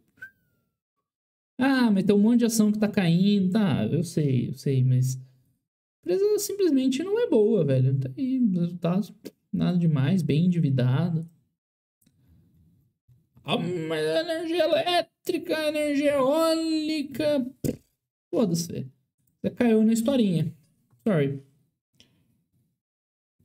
Beleza, valeu. Não, que isso, Guilherme, valeu. Não, é, é, é, isso, pessoal, tá? Nunca é pessoal, tá? Eu nunca tô falando das pessoas, tentando atingir as pessoas. É sempre tentando acordar, né? Porque se você não toma um chacoalhão. Porque é o seguinte, eu tava conversando com a minha mãe esses dias, né? Quando eu tava meio frustrado, assim, com as coisas, minha mãe é professora, sempre foi. E eu lembro claramente disso, né? Ela dava aula, assim, minha, minha mãe era pesquisadora, foi coordenadora do mestrado, doutorado e tal. Mas acabava dando umas aulas de especialização, assim, meio perdida, e era isso, né? Um monte de aluno desinteressado e tal. E eu lembro que ela ficava frustrada. Aí eu falo, eu tentando explicar para ela hoje, mãe, agora imagina isso. Só que ela dá aula de micologia médica, né? Ninguém no final da aula vai parar e discutir com ela, não, mas eu penso diferente porque. Não, todo mundo tá cagando pra micologia médica. O problema de investimentos, né, em geral, é que não é como se estivesse dando uma aula qualquer, é que o cara tem grana dele lá envolvido. Então tem ego envolvido, tem dinheiro envolvido. Então o cara não quer aprender, ele quer discutir, ele quer encher o saco, enfim, né? Tem N viés. Então não tem jeito, ou sou assim e sobrevivo nesse mundo, ou vou ser engolido. Então, sorry. Desculpa aí a todos. Aí eles eu caí, mas saí a tempo. É isso, pessoal. Aprendizado não tem preço, tá? Você perdeu dinheiro, mas você aprendeu? Tá bom. A você diz claramente, o custo é caro demais para manter no momento. Sim, fato. Neogrid, N empresas, né? O Neogrid nem é ruim, eu tava ouvindo o call dela hoje. É que ela tá muito crua ainda, né? Os caras agora tão, vão começar, estão ouvindo calls. Não, vou tentar agora um cross-sell, um upsell. Né? O grid tá muito crua. É legal até a proposta dela. Mas, tipo, a Melius, essa, pelo amor de Deus, né? Essa. Lius. Essa tem vídeo no canal também. Neogrid, acho que eu nunca fiz vídeo, né? Neogrid? Não. E a gente viu que era ruim, aí tá lá o vídeo. Preso o cashback, mas é ruim. Vamos ver se tem comentário. Tava mais gordinho também, tô emagrecendo. Ah, mosaico, enfim, outro caso. Ó, o povo só olha isso aqui, ó, valorizou horrores. Expectativa longe da... É, é que vocês são bons, né, na verdade. Tem um outro maluco aí. Aí, ó, os caras já querem comparar com a Tesla. Ai, menos, galera, menos, menos, menos, menos. Empresa modinha.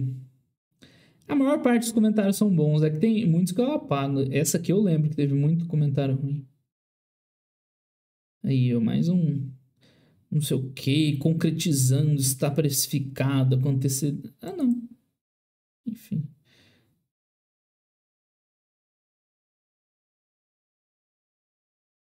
Cara, isso aí. Ah, boa é Rosário. Confesso nunca me interessei. Agora menos ainda. Muito bem. Pump and Dump gigante. Ai, bom, nem vou, nem vou mostrar o nome do camarada aqui. Oh, não quero assinar não, velho. O teu texto é bom, mas... Eu já recomendei aqui no meu canal, não quero assinar não. Enfim. Como está... Ah, aqui, perfeito, hein? Como está subindo e eu não invisto, então é bolha. Cara, não sei como eu não apaguei isso aqui, porque dá vontade de mandar um cara desse ferrar, né?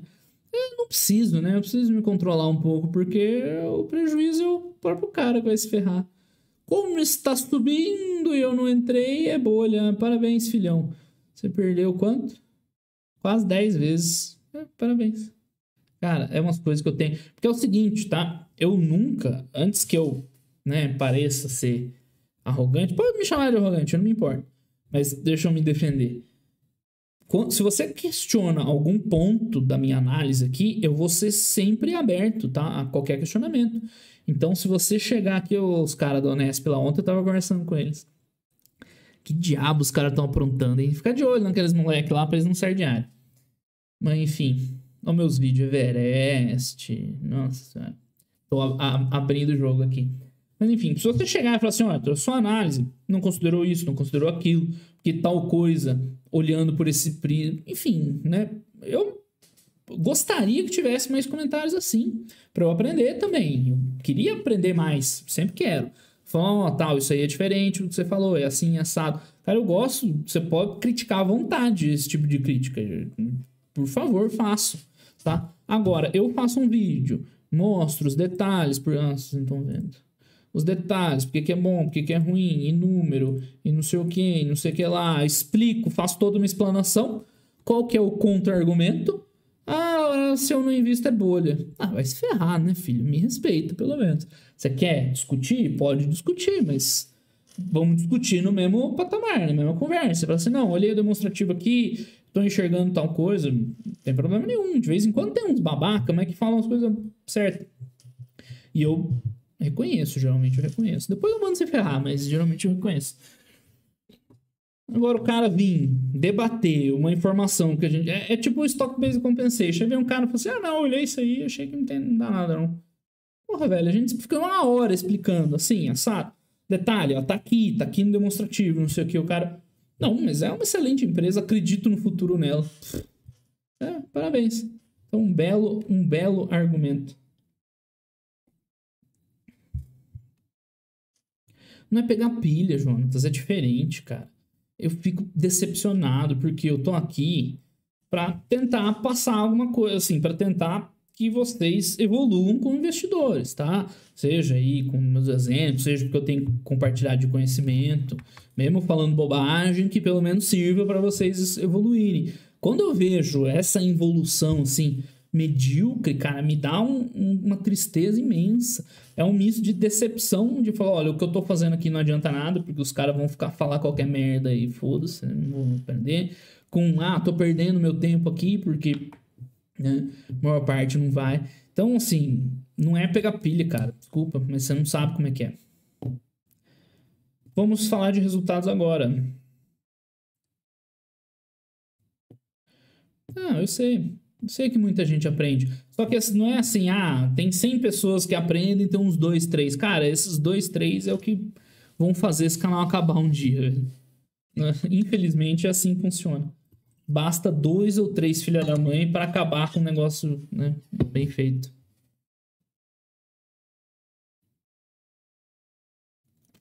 Enfim, chega disso. Vamos falar de resultado.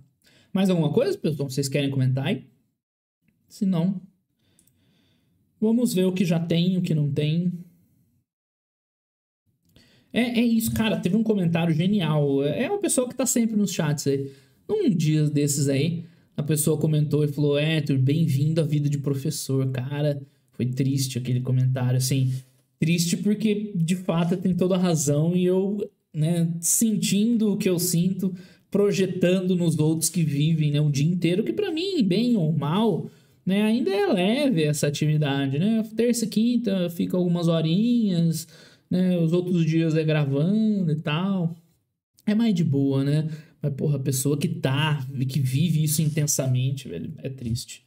Eu fiquei triste aquele comentário, cara. Fiquei muito triste. Enfim, vambora, vambora, vambora, vambora. Foi o Rafael? Beleza, Rafael. Meu simpatizo aí com vocês minha empatia por vocês, cara, porque pesado. Enfim, como diria minha xícara, vamos trabalhar que a gente ganha mais. Resultados, enfim, de ontem, tá? Tô falando muito enfim, né? Vício de linguagem feio, além dos NES. Vou melhorar.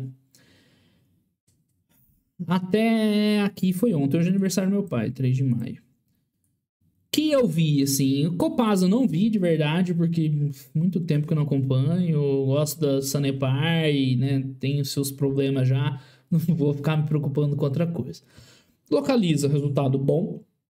É, as locadoras em geral estão reagindo bem, mesmo com cenário difícil. Agora, a Movida, que eu fiz vídeo ontem, para mim é que tá no melhor momento. A Localiza e a Locamérica meio que estão no. Né? Não, você não tem que pedir desculpa, Rafael, de jeito nenhum, tá? Você, a frase foi perfeita. Eu que peço desculpas porque né, eu tô aqui reclamando, surtando, dando showzinho e tem gente que sofre muito mais que eu, na verdade. Tenho empatia com vocês, cara, de verdade. Não, não é pra pedir desculpa, não. Eu peço desculpas aí quando eu faço showzinho. Aí, Eduardo. É, Copaz, esquece, tá, localiza. Eu tenho gostado mais da movida no momento. Para mim é mais dinâmica. Você vê aqui tá com o mix de veículos mais fresco, consequentemente tá vindo melhor retorno das diárias. É, né, tá crescendo bem, aqui menos tá tendo problema para comprar. Para mim é melhor no momento. A Localiza e a Locamérica, para, não sei se elas estão meio que esperando desenrolar no CAD, né? Na Locamérica vem umas coisas meio esquisitas, fechando loja de seminovos, tá todo mundo abrindo. Então hoje para mim a mais quente do momento é a Movida, mas bem a Localiza, tá? Não tenho o que falar. Marco Polo tá faz tempo no momento meio ruim do ciclo. Não aconteceu nada de novo ainda. Tem que esperar, cara. É uma empresa bem cíclica e o ciclo tá ruim. Ônibus, né? em geral, não é um bom momento. Na pandemia e pós-pandemia, tá lento ainda, nada acontecendo. Então, o Brasil, que a gente falou, nada acontecendo também. Não é empresa ruim? Não. Ruim, ruim, não. Mas não é boa também. Então, sim. Né? Lembra das aulas do, do curso lá da playlist? A gente quer empresas boas, excelentes e tal, né? Pô, não empresa mais ou menos, né? Não me interessa. Quero, quero. Vamos ver a quero, quero com calma. É... Quero Quero foi meio decepcionante mesmo. Eu vi que alguém colocou aí.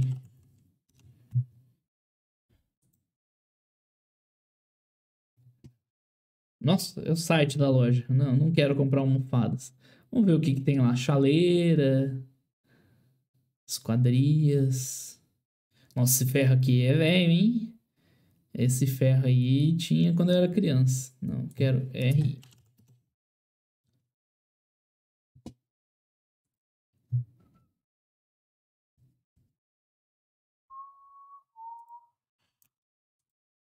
Dá só uma passada, né, pessoal? Não, não...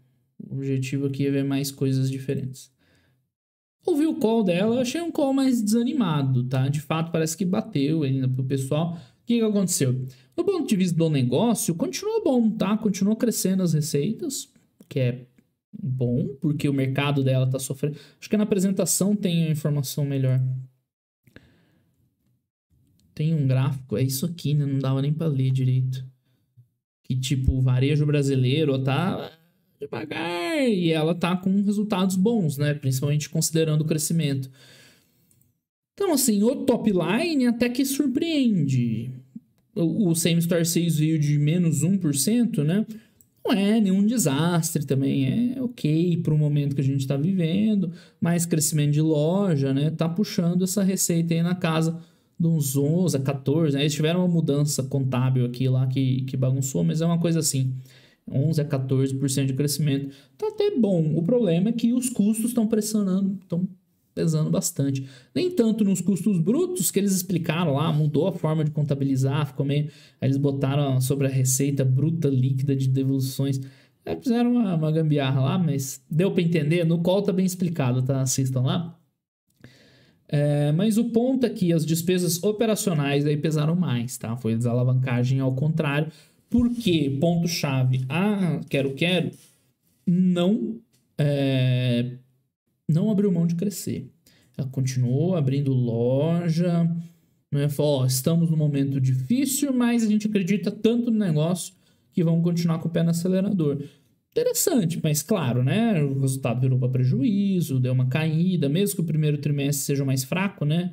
Do ano passado também não foi muito bom, mas de fato, né? Deu uma, uma caída importante. Então, continua sendo interessante, mas vamos acompanhando. Acho que o Rafael colocou o sonho acabou.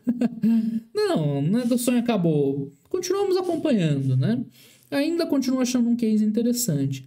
Mas, claro, no momento não é favorável, né? Isso a gente está vendo. Magazine Luiza, com N outras lojas de varejo físico, que o momento não é muito favorável. Como ela ainda está começando, ela acaba sofrendo um pouco mais. Mas não achei de todo ruim por, essa, por ela ter continuado a crescer, metendo loja nova, né, começando a entrar em Mato Grosso do Sul e São Paulo. O tal do digital deles, tenho lá minhas dúvidas, mas parece que já é 17% das vendas, uma coisa assim, cara. Pô, bastante. Cadê? Aqui, ó, 17% das vendas. Pelo visto, deu certo lá a gambiarra dos caras, o multiverso da, da Quero Quero lá. Então, assim, eles continuam o plano de longo prazo. Isso é interessante, né? Estão crescendo o varejo, enquanto o mercado está caindo, transformando loja, como se nada tivesse acontecido. Claro, isso tem um custo, né? As despesas operacionais crescem e o resultado lá em cima não vem no mesmo nível. Né? Eles continuam investindo em centro de CD, em digital, ou seja, né? eles estão tendo gastos como se não tivesse ruim a situação, porque eles acreditam no, no futuro da empresa. achei ok, assim, tá? Mas, claro, acompanhando de fora, né? Um pouco mais de longe agora. Mas não achei ruim, não.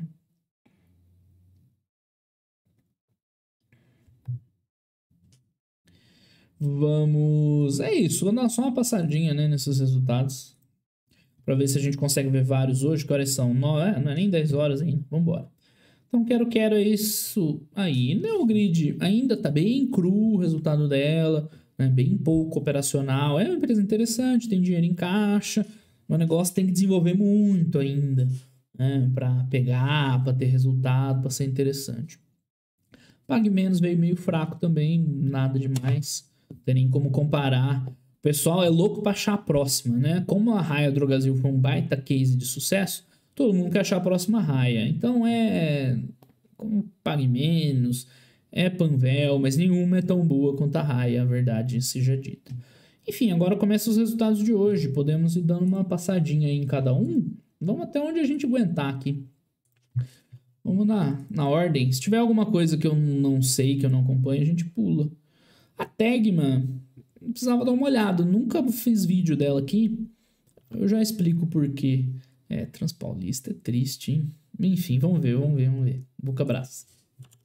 A Bucabras tinha levemente melhorado, né? Depois que saiu a Azaleia e entrou a. E entrou a Mizuno, parece que a empresa melhorou. Vamos ver. Concordar e fechar. Release de resultados. Bem legal o multiverso dela. Eu achei duvidoso aquilo ali, mas tudo bem. Se tá vendendo, velho, tá bom. Apresentação de resultados. Volume bruto aumentou, mas claro, né, ela tem outras linhas de marcas, tem que tomar cuidado com isso aqui. Margem melhorou um pouquinho, é bom. Receita aumentou bastante. Parece que ela tá engrenando, né? Lucro bruto, EBITDA. Vamos ver o que a gestão tem. Só o release já melhorou muito, né, galera? Muito mais feio. Continua meio duvidoso esse verde, amarelo e azul aí, mas já melhorou. Tá um pouco melhor. Esse é o nosso indicador de qualidade da empresa. Mantendo a tendência de alta, registrar um novo recorde, melhor primeiro trimestre. Para o cenário que a gente está, né? Eu acho que é bem positivo. Crescimento estruturado das três marcas esportivas: Olímpicos, Under Armour e Mizuno. E agora ela está nacionalizando, né? Produção própria e tal. Chegada da Mizuno, ampliou o mix. Eu acho que a Mizuno, assim, não sei se teve a ver, né? Chegou a Mizuno, as coisas começaram a melhorar para o Vulcabras. Provavelmente teve a ver, sim. Tecnologias, expansão da fábrica no Ceará, tem incentivo fiscal lá também canal de venda direta. Isso aqui é legal, tem mudado muito a vida dessas empresas que são mais fabricantes do que varejistas, Mas agora, com tecnologia, internet e tal, venda direta, que é fazer um e-commerce basicamente, tá funcionando bem, né? E-commerce foi de 6 para 22. E quanto que é isso? 22 milhões. Quanto que ela tem de receita? Ainda é pouco, né? 477. É uns 5%, alguma coisa assim, um pouco abaixo. É pouco ainda, né? Já é melhor que a da Grandene. Todo mundo bate na Grandene, é um chinelo escapando aqui. Vamos lá. Ah, blá, blá, blá, blá, blá, distribuição, vendas para o mercado externo. Flexibilidade, organização verticalizada. Eu tenho essa impressão que a Vulcabras está se encaixando aos poucos. Lucro bruto bem, EBITDA contábil mais, EBITDA recorrente ok. Resultado lucro, alavancagem operacional, né? Perfeita. Cresce o volume 20%, o, a receita 50%, o lucro bruto né, 50% um pouco mais. EBITDA 120, lucro 270. Não sei se o, o primeiro tri do ano passado foi especialmente ruim para a Vulcabras. Acho que não, né?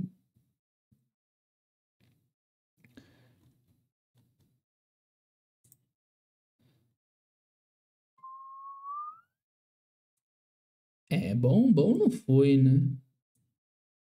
Mas não sei, acho que é meio tendência. Os primeiros trimestres aqui teve pandemia.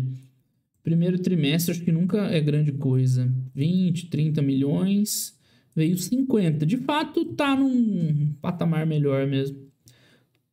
Bom, tomara que dê certo. Opa, voltar para Vulcabras. Eu não, não torço contra a minha empresa, tá? Por mais que vocês achem que sim.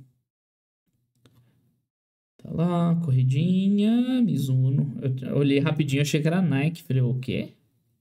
Nike tá na Centauro. Né, virou uma empresa basicamente calçado esportivo, né? Calçado feminino quase não tem mais nada. E os acessórios, roupas e tal, muito pouco também.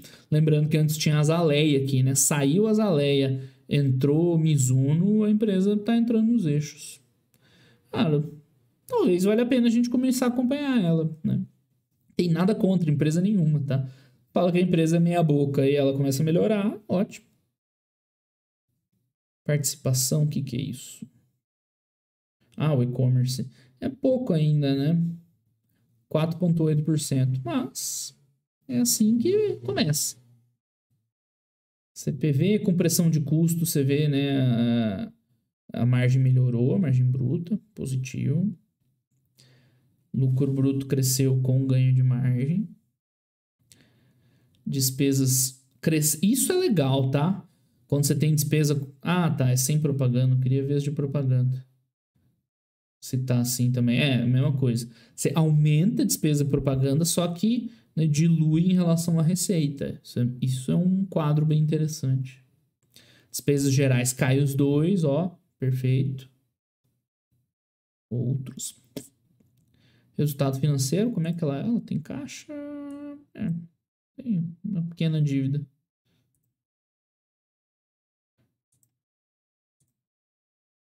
Tá, irrelevante.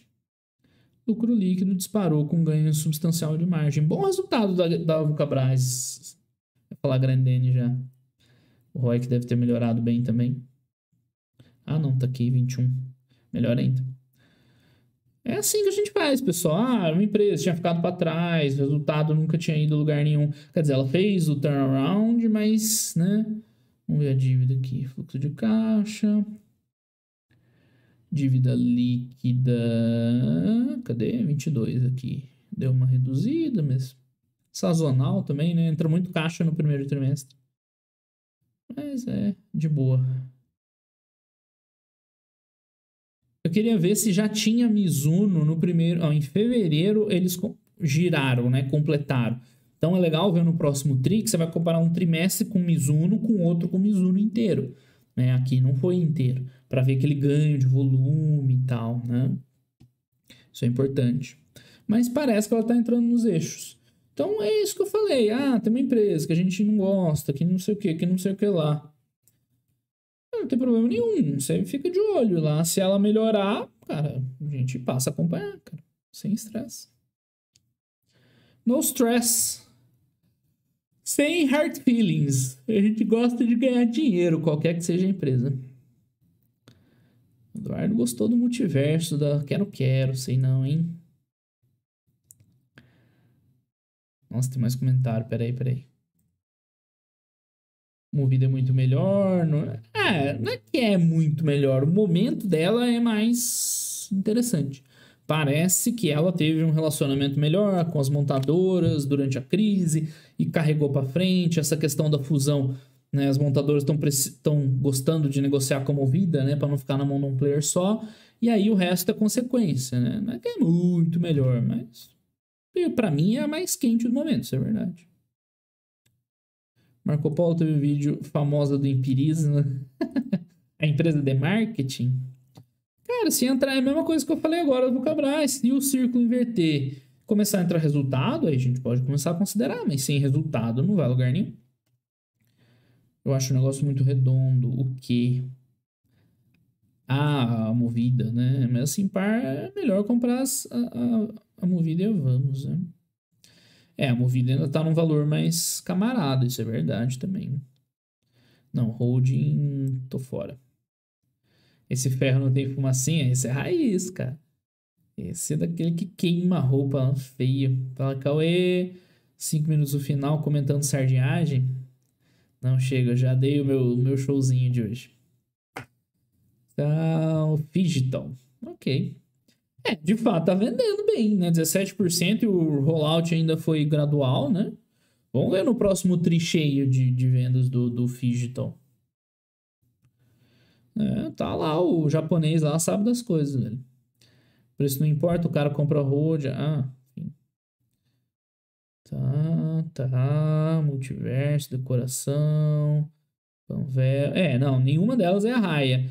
A Panvel é ok também. As outras de farmácia são mais difíceis, né? A Pague Menos eu não acompanho tanto. Mas Extra Farma lá do Ultrapar ela até vendeu. A outra lá, como é que chama? Eu não lembro das, das tranqueiradas lá também. Nunca saiu do lugar. Que virou a Demil e não sei o que. E o povo me perguntava essas porcarias ainda. Mas não adianta. O que tá errado é a mentalidade. Sair buscando a próxima raia. Isso que tá errado. O Vulcabras parece que veio bem, de fato. Isso, raia top. Balsigel. Empresa farmacêutica, Lana. Tem vídeo dela no canal. Ela já foi. O último trimestre meio, meio estranho dela, né? No IPO parecia ok, mas no último trimestre não veio tão bom. E a Ipera tá muito forte, né? Difícil comparar alguma coisa com a Ipera hoje. Amanhã tem PetroRio. Vamos ver o call na Twitch, hein? Já deixei. Vamos deixar agendado já na quinta, né? Se sai amanhã. Quinta-feira a gente assiste na Twitch. Pipoquinha. Esporte tipo a track and field é diferente um pouco, né? Bem diferente. Isso, Blau. Conversa paralela no chat. Não, tranquilo. É, enfim, vamos lá que mais que tem? Porra, transmissão polícia, vocês estão de sacanagem que eu falei dela, né? Vamos, vamos só abrir o resultado. Isso aí pega sardinha total. E não, eu não vou comentar por quê. Por que não? Eu não tô afim.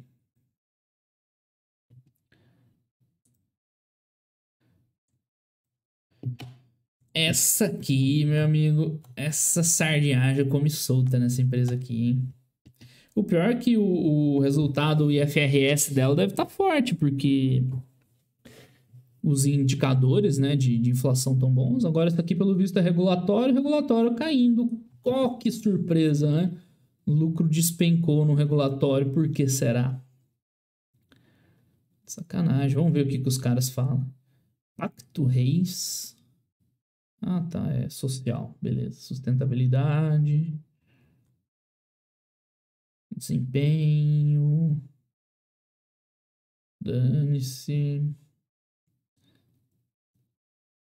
Receita regulatória, tá? Uma leve quedinha. A RBSE dela acabou ficando bem pra frente, né? Pelo menos os caras se deram bem nessa aí. Tá. Perdendo aí um pouquinho. Ah, mas ela já começou a diminuir, né? Já começou a pesar os custos aumentando aí na linha da inflação. Problema é que a receita está caindo, né? Aí não adianta crescer. Crescer inflação normalmente, beleza, mas crescer inflação quando a receita está caindo, aí é ruim. Nossa, margem baixinha, bicha, 74 para transmissora é baixa pra caramba. Ah, de novo, tô mexendo na porcaria da RBSE. Ah, resultado financeiro. O que vai começar a pegar para as empresas é o financeiro, né? Taxa de juros nas alturas. Vai começar a comer com farinha o resultado delas, de todas, na verdade. Lucro líquido, CREL. Caiu receita, custo piorou, resultado financeiro comendo. Aí no FRS tá uma maravilha, né? Pior que não, nem no FRS tá bom. Como é que tá o. Ah, vamos ver o endividamento. Tá, 7 bi. E quanto que é o EBITDA dessa senhora?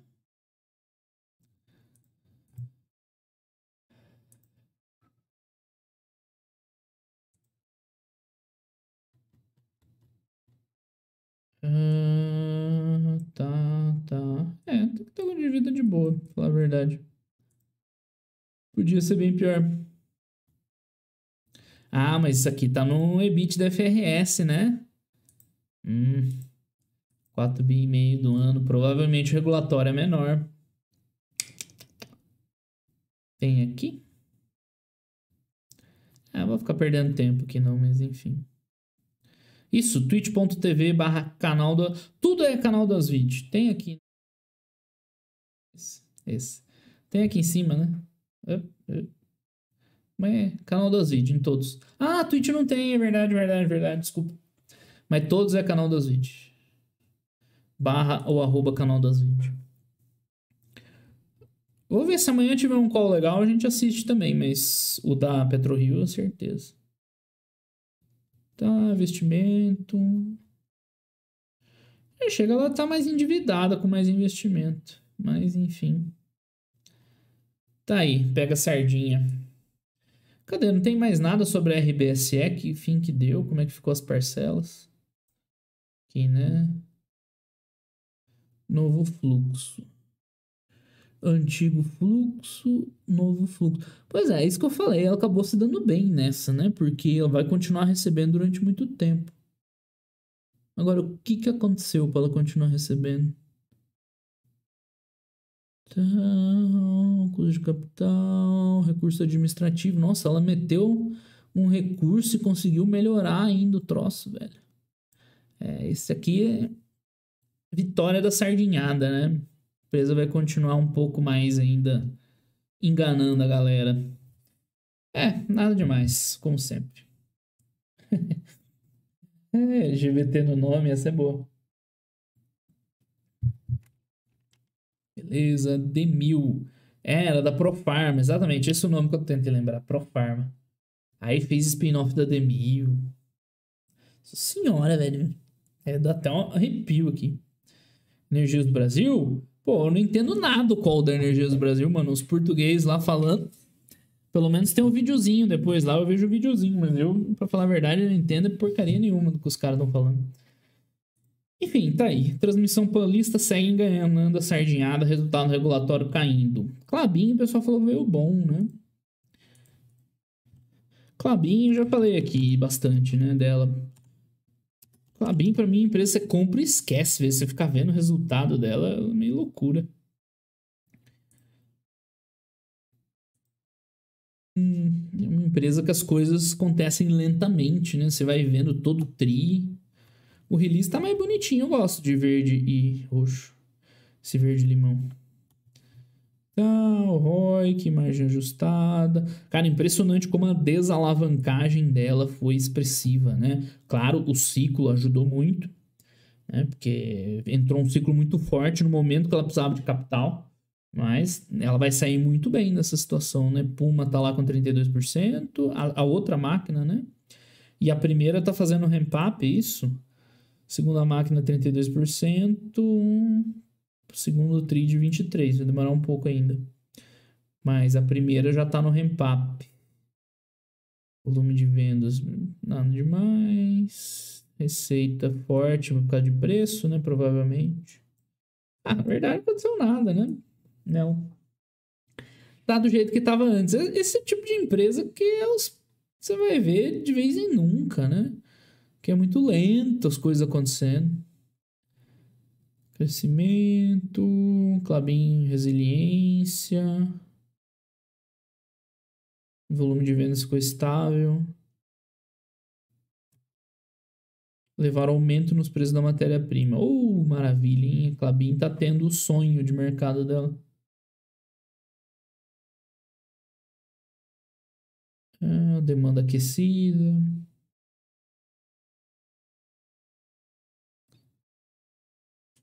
É. Impressão que já, já foi, né? O auge do ciclo. E ajustes de preços, compensar o impacto negativo. A alavancagem dela chama muita atenção, como ela tá redonda. Quer dizer, né? É comparado com os quatro, que ela termina os projetos com a, né, com a dívida no talo. Então ela tá bem razoável, né? Era uma preocupação importante para ela. Bom, acho que é isso, né, Clabin? Continua tudo de boa. E a primeira marca, a primeira máquina de Puma 2 tá indo, né? Legal. Enfim. Tá aí. Clabin. Tem muito o que falar.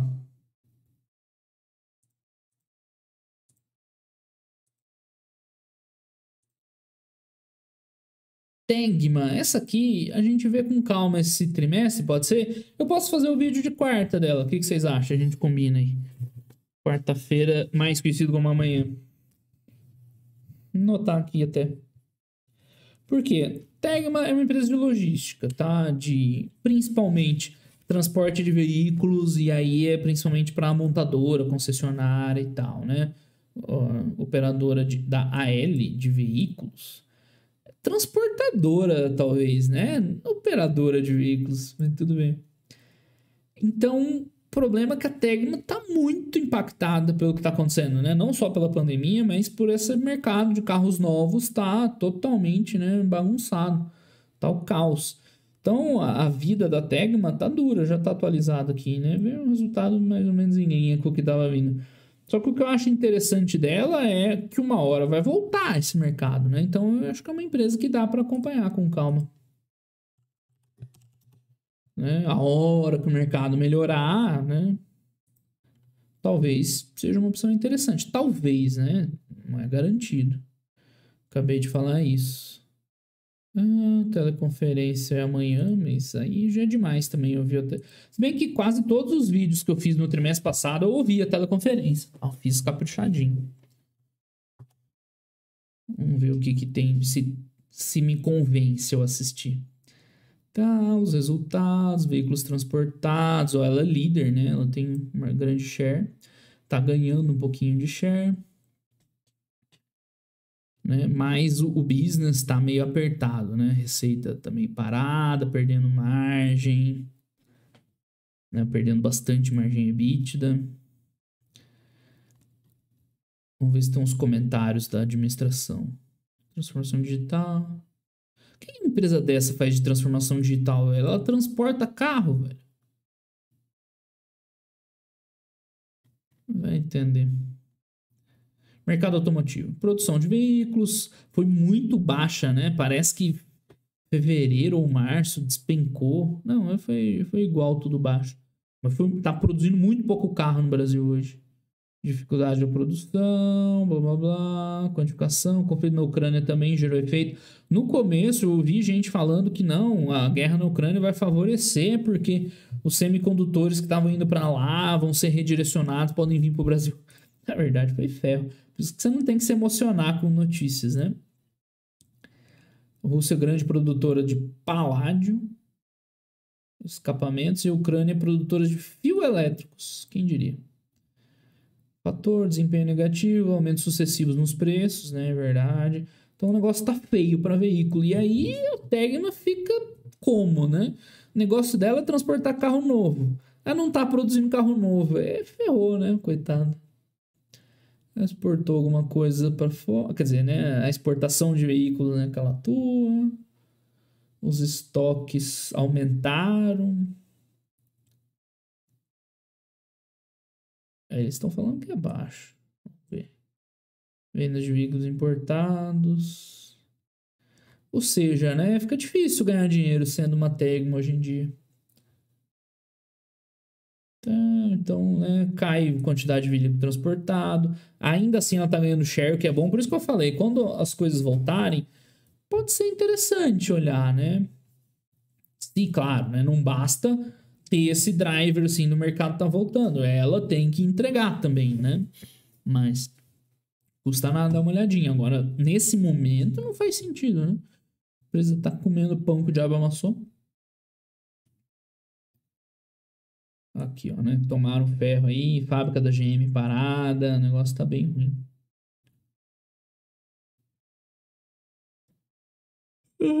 Então você vê, são indicadores de, né? Depende muito do mercado de veículos, claro. Ela não fabrica, mas ela transporta. Então, até agora foi só falando nisso. Aí aqui mostrando o volume transportado, pelo menos o share dela, né? Ela tá lá meio que brigando mas também não é como se ela estivesse ganhando né, de forma consistente. As distâncias, veículos transportados, receita bruta né, meio instável, ficou flat. Ó, a queda na pandemia, né? A margem bruta fica pressionada, né? Você dilui menos os custos. Não tá fácil para ela. É, já não sei se é bom fazer vídeo amanhã, né? Não vai ter nada interessante para falar. Logística integrada. EBIT da CREL. Não, não, calma, calma, calma. Logística integrada é outra coisa. Mas é pouquinho, né? 40 milhões e a transporte de. É, não é tanto diferente. 250, três vezes maior. Eu achei que fosse menos. É, o que? 20%, né? Não. Enfim, não sei fazer conta de cabeça.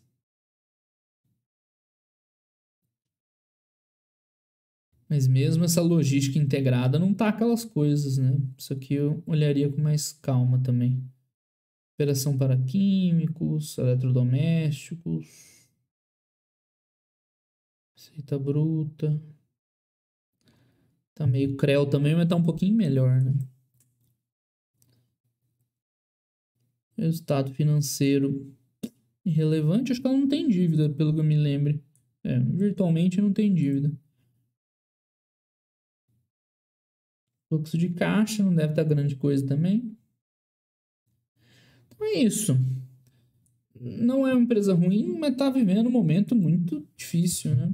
Quem sabe a hora que as coisas voltarem, se ela entregar, veremos. Camiseta do Pirula, da Árvore dos Dinossauros. Essa é a árvore geral, né? Tem os. Não, tem os. Ah, tem aqui embaixo os taurópodes aqui os ornitísquios aqui e os terópodes, cadê aqui? Inclusive os passarinhos. Segredos serão revelados? Da Lupar? Não, pessoal, eu já falei isso aí. Só vocês olharem nos vídeos. Menina. Ah, o call da NBR? Ah, sim, sim, claro. É brincadeira, né? Meus portugueses lá é difícil de entender. Eu prefiro ouvir qual em inglês que daqueles malucos lá. Fala, Rilhos, beleza? Clabin, gosto muito. Diego, nesse caso de talvez melhores depois, mais sentido esperar melhorar? Com certeza. Claro, claro, claro. Não é para agora, não. Como é que assim, né? Você coloca lá no radar essas potenciais, né? Tipo a Neogrid. É interessante a proposta dela. Ela tá muito crua ainda, muito, né? Então, é... Mas eu fui olhar hoje call, ver. Porque se um dia encaixar, né? Se ela já tiver no teu radar, se você já ter olhado, é mais fácil de você pegar, de você ver, né? Muita empresa e tal. Então, por isso que eu queria ver a Tegma, mas nada pensando nela agora. Agora não, velho. Você não vai entrar numa roubada dessa para se talvez um dia, quem sabe, as coisas melhorem. Não, você não investe assim. Mas pelo menos para botar no teu radar, ver o que, a empresa está fazendo. Se ela tivesse ali um sharezinho crescente, talvez fosse interessante, né? Parece que não. Então é isso. Você começa a olhar, mas só olhar, Rafael. Não tem como saber exatamente. Quanto que eu acho que vem do bit da PetroRio? Nem cheguei a olhar, Eduardo. Depois que deu o, o CREO lá no, no, petróleo, velho, que passou de 100, parei de pensar nisso porque não consegui ver. Ah, hoje? Tranquilo, Felipe. De boa.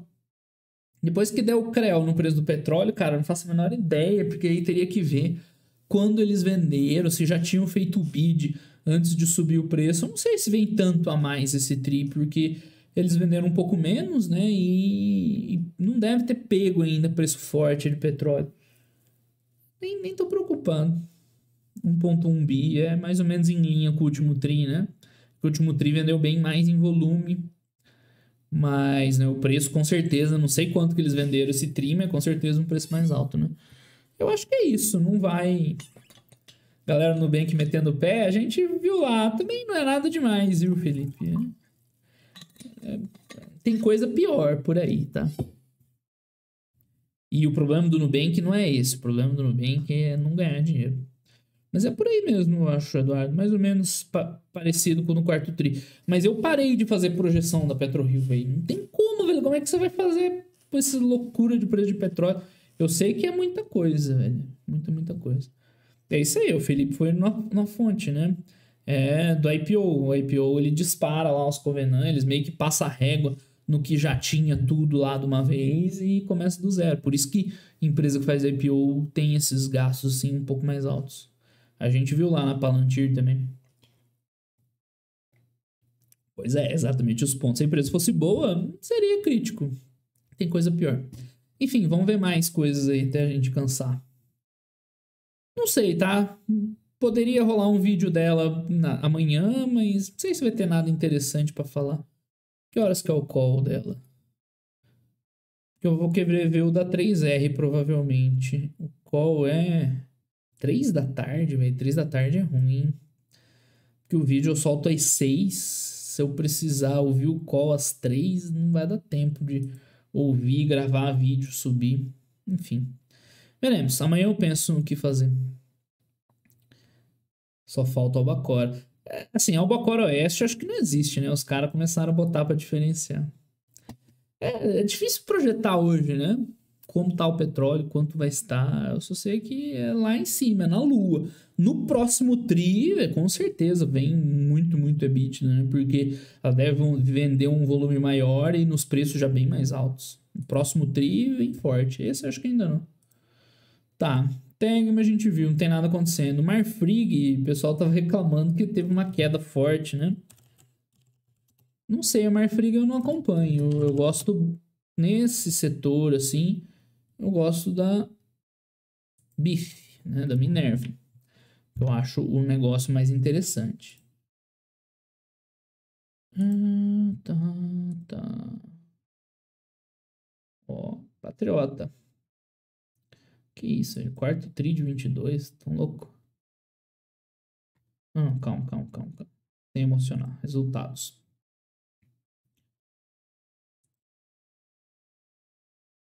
É, eu acho que os caras deram uma rateada, os jornalistas, que não tem o Bacor Oeste, mas tudo bem. É igual Mato Grosso do Norte. Não, tem Mato Grosso do Sul, Mato Grosso do Norte, né? Os caras ficam putaço. Ah, a receita veio forte, por que, que veio ruim? Ah, EBITDA ajustado. O que, que vocês aprontaram, galera? Ajustado, ajustado. Conquistas, líder global de hambúrgueres. Trabalhei no frigorífico que era do lado do da Marfrig, quer dizer, do lado, não era do lado, mas era próximo. A gente conversava com o pessoal da inspeção no, no Marfrig. Bataguaçu, pior, o pior de tudo é que eu conheço, não conheço, né? Mas eu sei onde é que é, Bataguaçu. Minha origem interiorana não nega. Tá, ok, vamos ver os números. O ah, que, que tem de ajuste, hein? Vamos veremos, porque pelo ajustado tá só alegria, né? Embora mais ou menos, anualizando aqui, tem uma coisa estranha mesmo. Lucro líquido fraco, lucro líquido não sei se está ajustado ou não. Caramba, ela tem receita tudo em dólar mesmo.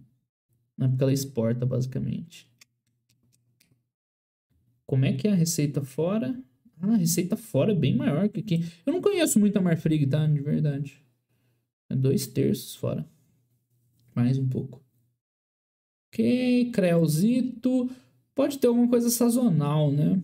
Para ser um primeiro tri ruim, mas de qualquer jeito não parece bom, não. Ah, performance é recorde. Tá. Exporta muito para a Ásia, Japão e Coreia. Custo de produtos cresceu 25%, então abriu bastante margem. O que, que aconteceu com ela, hein? Que o volume cresceu 80%, custo cresceu pouco. Lucro bruto 60%, margem pau. USDA Comprehensive. Saber que unidade é essa aqui, hein? Cubic, não sei o que, não sei o que lá. Subprodutos como couro, sebo e outros. Nossa. Não falo nada porque eu já trabalhei com isso, hein? Triste. Compra de gado subiu. E o preço de venda subiu na mesma linha, né? Então, tá de boa. América do Sul. É curioso, né? América do Sul exporta para China e Hong Kong. Enquanto que na América do Norte, Japão e Coreia. Legal custo. Aqui o gado subiu 13, mas na América do Sul subiu muito, né? Tá, mas a margem bruta veio boa. Onde que deu ruim nessa história? Vamos lá. Em dólar. Mercado consumidor principal dos Estados Unidos e os asiáticos.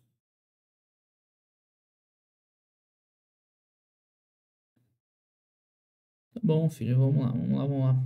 Pois é, por que que teve essa inflexão?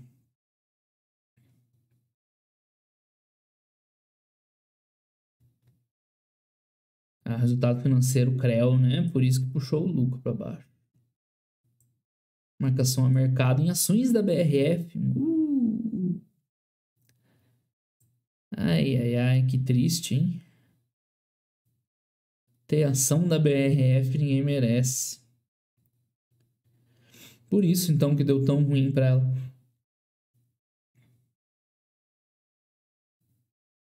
É, nunca achei grandes coisas Marfrig, agora achando pior ainda. Um bom motivo pra gente não ter dívida, como, como que é a dívida dela, mais ou menos.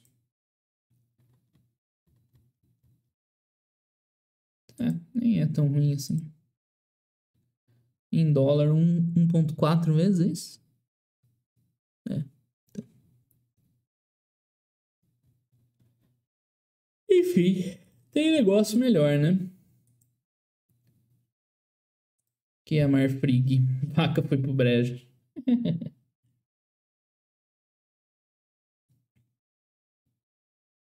é ó, o que o Raul falou. Vou ficar puto, porque tá errado, né? Tem que chamar os nomes certos. Albacora, Albacora Leste, tem Albacora Oeste, assim como não tem Mato Grosso do Norte. JBS é boa operacional, principalmente por causa dos Estados Unidos, né? A operação lá nos Estados Unidos é redondinha, mais ou menos redonda. Cultura de receita. É, mas ela tá crescendo muito, né? Ela até poderia arrumar a casa, talvez. Marfrig, o quê? Perdi aqui. Marfrig veio forte ainda já vemos o ciclo virando e tal. É, pelo visto deu ruim. lucro sobe quando merge acquisition. É. Mas assim, Felipe, ela já cresceu num ponto que se ela conseguir arrumar a casa, ela tem potencial para ser uma empresa boa. Até agora nada, eu concordo com você, mas o JBS eu acho mais fácil que a Brasil Foods, para ser bem honesto. É cíclica, Marfrig, JBS, Marfrig nem óleo. Muito forte, por isso está desacelerando. Não, beleza. É, essa aqui eu não acompanho mesmo. JBS insana na operação. Marfrig é mais ou menos. Tá, problema ciclo de gado virando. Empresa está investindo na concorrente. Sei lá, cara, esses rolos aí você fica de fora. Não quero nem saber.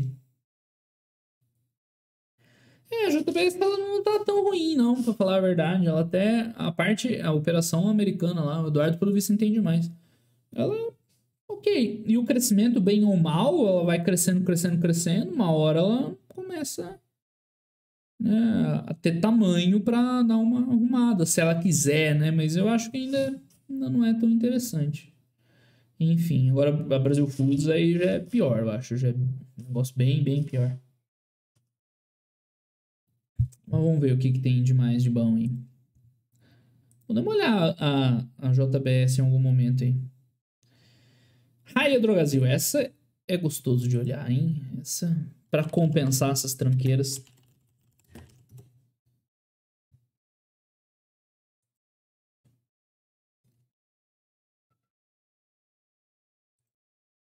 Raia Drogazil, sempre um prazer. Até aceito os cookies dela. Ah, o call, anuncia os resultados.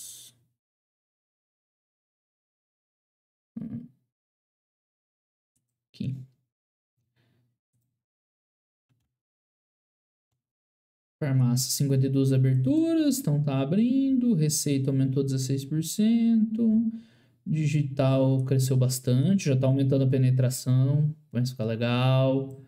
Margem de contribuição, bit ajustado. Vamos ver aqui essas margens pelo isso veio bom. Cadê? Ah, veio um pouco abaixo, né? Ah, não, desculpa, é aqui.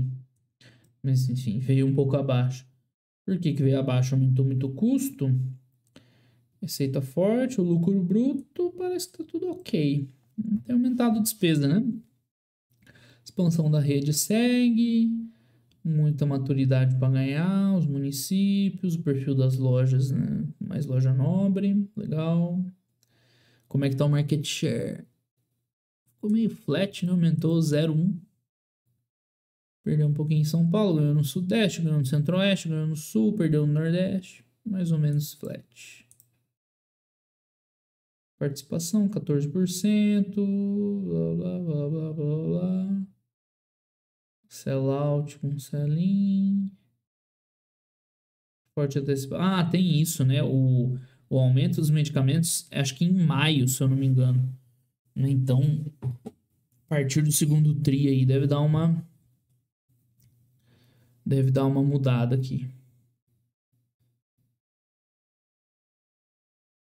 Ah, entendi. Aí descasa o selling e sellout, né? teria ganho mais margem, mais share. Beleza. Digitalização, que é legal, isso aqui eu falei no último vídeo da Raya, né? Meio inesperado, mas se vier, ótimo. Excelente, ó. Penetração digital crescendo. Tô bom. Receita top line tá bom. Crescimento de venda nas mesmas lojas, em lojas maduras, tudo bonitinho, como manda figurino Lucro bruto teve um ajuste aí. Que foi? Sei lá, mas tá bom. É, meu lucro bruto já. Empresa de margem apertada é dureza, hein? Qualquer coisinha já segura. Despesa com vendas aumentou um pouquinho, né? Pressão. É por isso que o resultado veio abaixo. Inflação acumulada e o aumento se mede que só vai vir depois, né? Que vem, se eu não me engano, é 1 de maio, acho, que é a data base para aumentar. E aí deve normalizar. Se for isso aí, tá tranquilo, né? Porque os custos, ela já tá pagando os custos mais altos, só que a receita é meio tabelada, né? Dos medicamentos. Por isso. Aqui, ó. Exatamente isso, né? O reajuste vai entrar agora. Já entrou? Quando que é o reajuste? já a partir do. Na, na época que eu trabalhei, ó, primeiro de abril, o Daniel falou. Quando eu trabalhei em farmácia, era isso aí. Tava confundindo, falando que era maio. Mas Eu não lembro de verdade, mas era isso aí, né? Tinha, tem as, as, a tabela lá se mede. E aí, claro, né? Dá uma pressionada um pouco no resultado, mas nada demais. Despesa administrativa ficou flat. O EBITDA sofre um pouco, né? Mas vai recompor a partir do próximo TRI. De boa. Tá, despesa financeira, depreciação, imposto de renda. Lucro líquido também vem mais baixo. Aqui não tem nada acontecendo. Tem sazonalidade aqui, né? Porque não era para ela queimar tanto caixa assim. Investimento, opa, aqui, tá forte. Ciclo de caixa. É. De fato, fica muito capital de giro preso no primeiro tri. Enfim, você tem que fazer uma análise melhor no anual, né?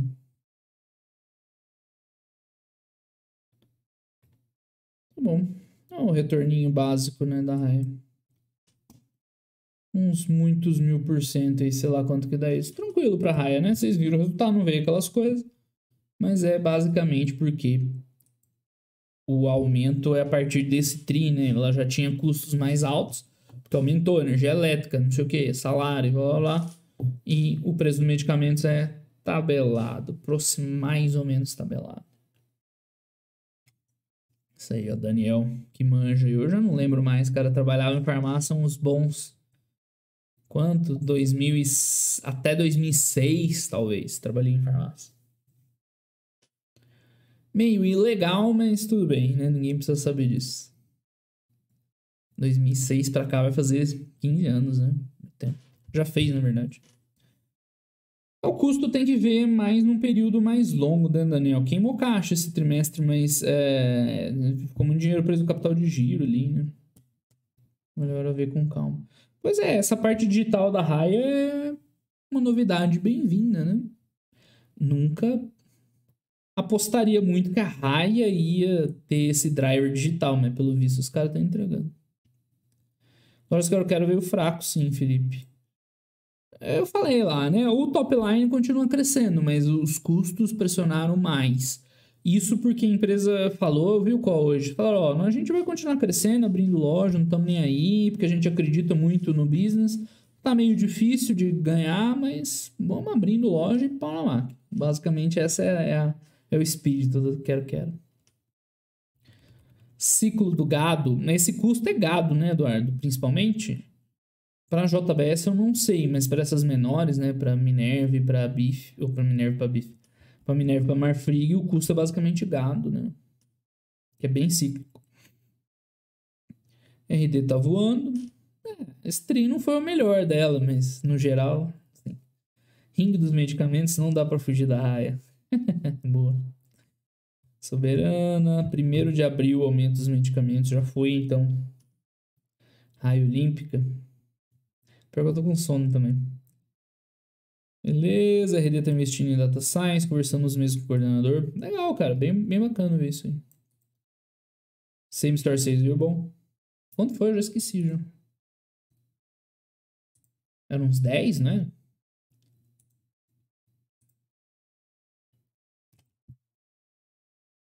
Já esqueci.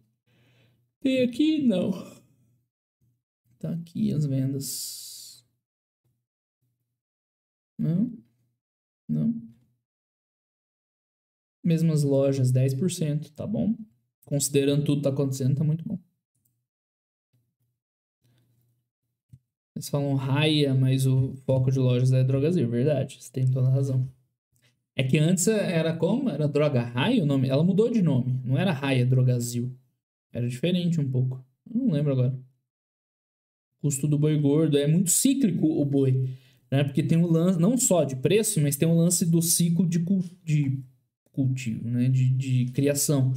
Porque assim, quando o preço tá alto da carne, né? Do boi gordo, enfim, o que acontece? O produtor manda fêmea pro abate. Né? Tem umas fêmeas de idade um pouco mais avançada, vende porque levantar a grana, né? O preço tá alto, você bota a tua matriz lá pro abate. É o que acontece depois disso.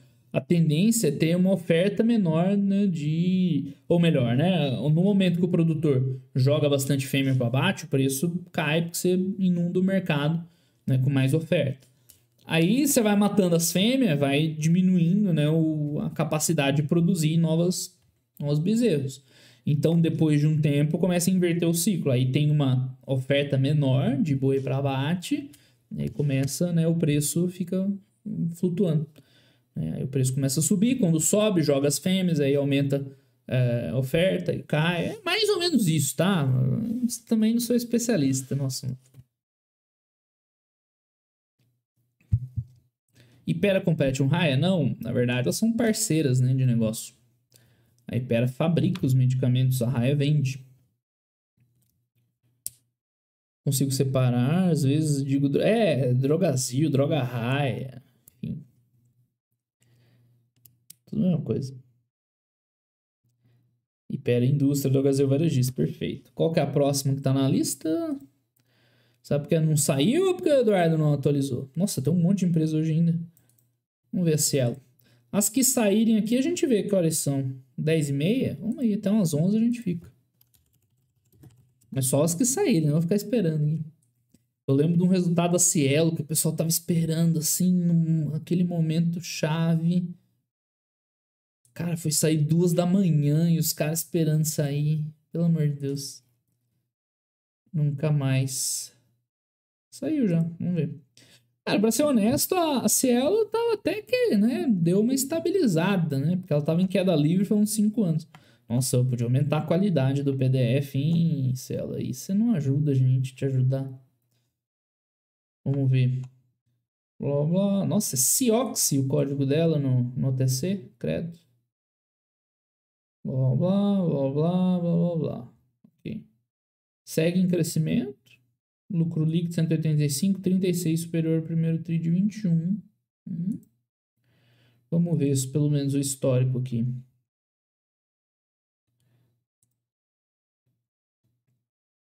Uh, ah, já atualizou sim. Aquela página que não está atualizada.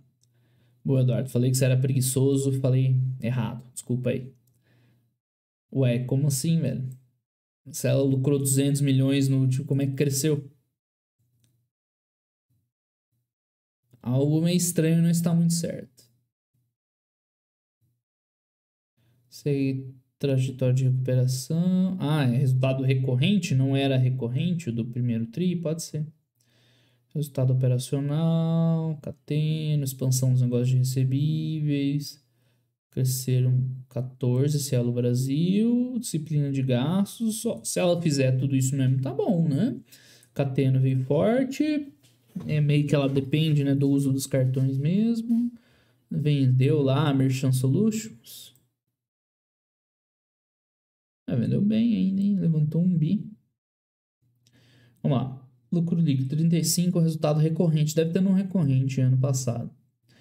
Em bases recorrentes, o EBITDA expandiu 50%. É bastante. Mesmo considerando que ela ainda tinha impacto da pandemia. O duro que se tiver no recorrente aqui não dá pra ver, né? direito. É, enfim, vai ser difícil concluir aqui, mas vamos lá. Receita segue em expansão. Só 1.5? Não, peraí, velho. Como é que tá crescendo as coisas e não tá crescendo?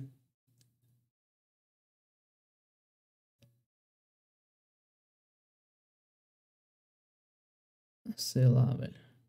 Gastos que seguem sob controle, muito bom. Vamos lá, vamos ver logo esses números.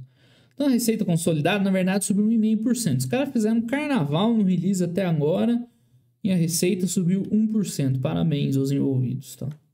Mas de fato, né? Foi porque ela vendeu outras controladas. A Cielo Brasil e a Cateno estão indo bem, tá? Beleza. Sejamos justos. O EBITDA, 700 e poucos milhões. Também cresceu. Aí teve não recorrente, de fato. Né? Como suspeitamos desde o princípio, primeiro TRI de 21 teve não recorrente, por isso que o resultado foi grande. É muito forte esse EBITDA recorrente, hein? É isso? Limpo, seco? Ah, ok, muito bom, hein? Resultado líquido, mesma coisa, não recorrentes, um bom avanço de 35%. Por que, que não cresceu tanto?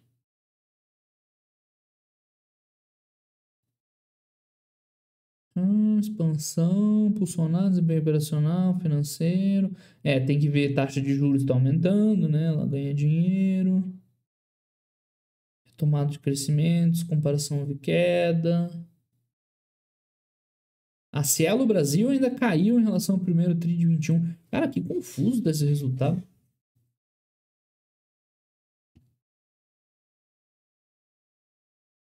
É, enfim.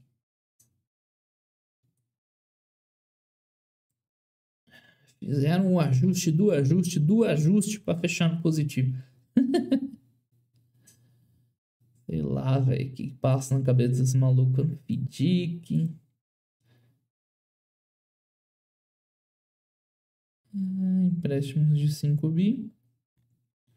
É, caixa nunca foi o problema dela, né? Enfim, vamos ver aqui o demonstrativo contábil padrão. Lucro bruto bom. EBITDA bom, mas claro que tem uns não recorrentes, né? Que a gente viu, não vai ter como comparar uma coisa com outra. Uh, 14, capital alocado, recorde, ações de controle de gastos, beleza.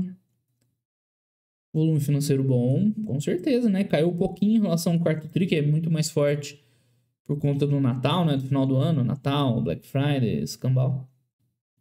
Bom volume. Mix crédito e débito, nada demais. Ah, volumes financeiros, tá? Isso aqui a gente já viu. Base ativa de clientes segue caindo, né? Não é legal isso. Hum, política de subsídios, produtos de prazo. Aumentou bastante, né?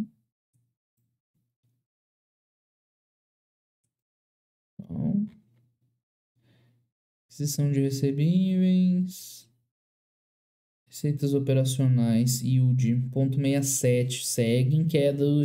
É, do último TRI deu uma leve aumentada, né, o yield. Enfim, nos pontos principais, né, o volume recuperando é positivo. Controle de gastos, pelo visto, é bom, a gente não viu ainda.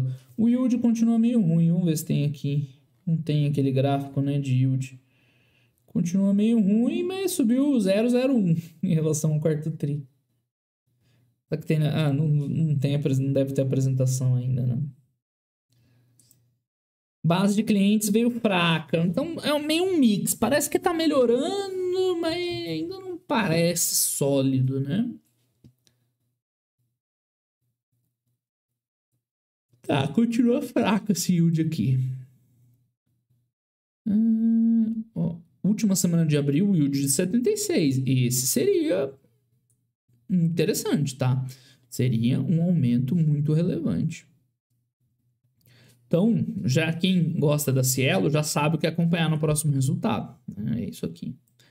É ver se esse yield se recupera, porque aí falta basicamente só essa base de clientes dar uma revertida, porque aí começa a ficar tudo positivo para Cielo de novo, né? Mas que parece estar tá um pouco melhor o resultado dela, parece. Nos custos, né, eles controlaram bem, isso aí é bem legal. Né, despesa operacional, caramba, o que, que é isso?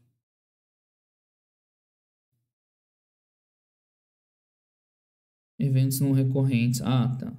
Vem negativo, tá certo. Gastos normalizados, ficou flat, ótimo. EBITDA recorrente cresceu 30%. Resultado financeiro veio negativo. É por isso que deu tanta diferença do EBITDA para o lucro, né? Tá. Nossa, é... como que tá o caixa da Cielo? Nesse caixa deve entrar recebível, né? Por isso que é meio estranha essa análise aqui. Despesas financeiras. Tá. Lucro líquido. Enfim. Pontos positivos, outros não, tem, não tão bons assim. Que, que é esse rolo dessa dívida? Cielo Brasil, visão, resultado da Cielo Brasil sem o custo dessas dívidas. Sim, mas a dívida tá lá, velho. É custo dos caras. Não faz muito sentido tirar isso aí, né? Desculpa aí, deu um tapa no microfone. Enfim, tá aí. DRE, Cateno, pelo visto, veio muito bom. Cresceu 27 de receita. Volume financeiro forte. É, custo do serviço cresceu menos, 13. Despesa operacional despencou, mas deve ter alguma coisa estranha, né? Né, teve um lance do arranjo card. O resultado financeiro dela vem bom, né? Ela é emissora de crédito, basicamente. Lucro líquido, 147, aumentou bem, né? Receita, resultado financeiro. Calma. Resultado financeiro ajudou, mas foi basicamente operacional mesmo.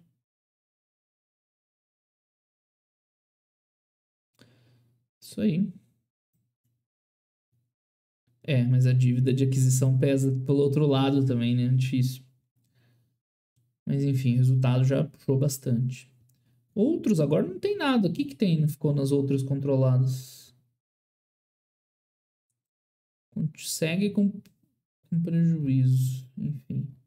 Os anexos e tal. É, parece que tem notícias boas para Cielo, mas não, né? 100% boas. Algumas coisas ainda não estão bem ainda, né? Mas perto do, do desastre que já foi, até que não tá tão feio. Se ela recuperar aquele yield naquela proporção e dar pelo menos uma segurada naquela base, na queda da base de clientes, já começa a ficar interessante olhar a Cielo de novo, tá? Hoje eu acho que ainda não, eu diria. Pelo que eu vi assim rapidinho por cima, acho que ainda não. Meu time tomar de 5 pra altitude é triste, Bruno. Dá um desconto pros caras, velho. Onde que é? La Paz? La Paz, velho. É alto em 3,7. Se bem que Cusco é a mesma coisa, né? O Equador. Quito é alto pra burro também. É, não tem escapatória, velho. No Escape. Tudo alto pra caramba. É que La Paz chama atenção, porque você chega no aeroporto, cara, o aeroporto é em, El Alto. É tipo região metropolitana de La Paz. Cara, o aeroporto fica 4,100, velho. É alto pra cacete. Que La Paz é um buracão. A cidade mesmo. É, lá é 3,700, 400 metros de altura. Então, é, um é alto pra cacete, mas é um buracão. La Paz fica embaixo no buraco. E ali em cima, velho, é mais de 4 mil, velho. Você tá louco. Hum, se a expectativa é baixa, é, tá um pouco baixa. Agora deve estar voltada no, nos resultados. Vamos ver como é que tá os últimos 12 meses. Não, anual. Ela tá voltando para um bi de resultado, mais ou menos, né? Ela vale. Nossa, ela tá valendo 9. Ela chegou a valer um 6, não foi? Ela subiu tudo isso. 2 para 3, é, tudo isso. É, ela 6 bi, assim, achava ok. Agora 9, velho. Não melhorou tanto assim, né? O povo tá esperando demais. La Paz, velho. La Paz é triste, mano. Triste, triste. Alto pra cacete. Cheio de ladeira a cidade. Tá louco. E, e assim, é alto e você vê um monte de montanha da cidade em volta. É desesperador. É, não sei. Ainda não me anima muito a Cielo. La Paz e Cusco. Cusco é alto também, né? Mas é porque é a cidade colonial mesmo, lá nas montanhas. Cielo tinha gente recomendando recentemente justificativo que tinha gatilho. É, é não, isso aí é ridículo. Sorote, velho. Sorote, sinistro. É nada, essa história da coca aí é só desculpa pra mascar coca, velho. Resolve nada. Mascar a porcaria daquela folha seca na boca, começa a grudar no céu da boca, velho.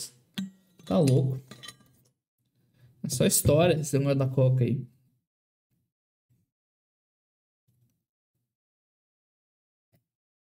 Enfim. Tem coisas melhores, né, na Cielo, de verdade. Mas não pareceu grandes coisas, não. Como é que é? Tá gerando um caixa legal, parece que parou de piorar. É, parou de piorar sim. Mas calma ainda, né? Tá fazendo melhor com os clientes que tem? Tá falando de Cielo, Daniel? Uh, não, né? Principalmente o ganho de volume transacionado. Apesar que ela tá controlando despesa, né? Mas o yield tá fraco, a base de clientes tá fraca. O mercado dela que tá melhorando um pouco, principalmente. Pelo menos é que deu pra ver rapidinho, né?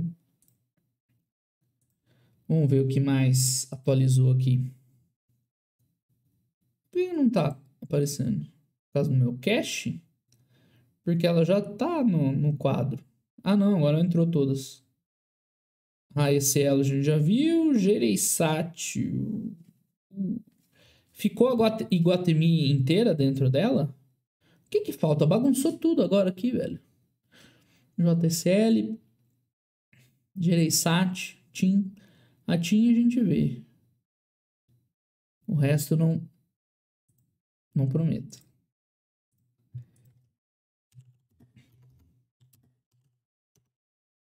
Machu Picchu nem é tão alto. Machu Picchu é mais baixo que Cusco. É, exatamente. O que você escreveu. Tomei chá de coca na Atacama. É, é conversa, velho. Serve pra nada, não.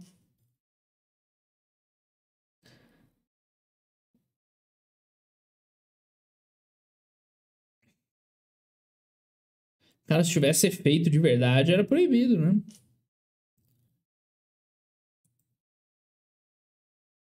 Vamos lá, Tinzinha.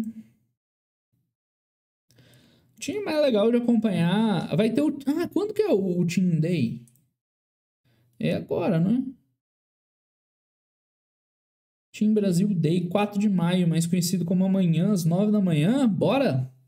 Partiu? Na Twitch, amanhã, às 9 acompanhar o Team Brasil Day.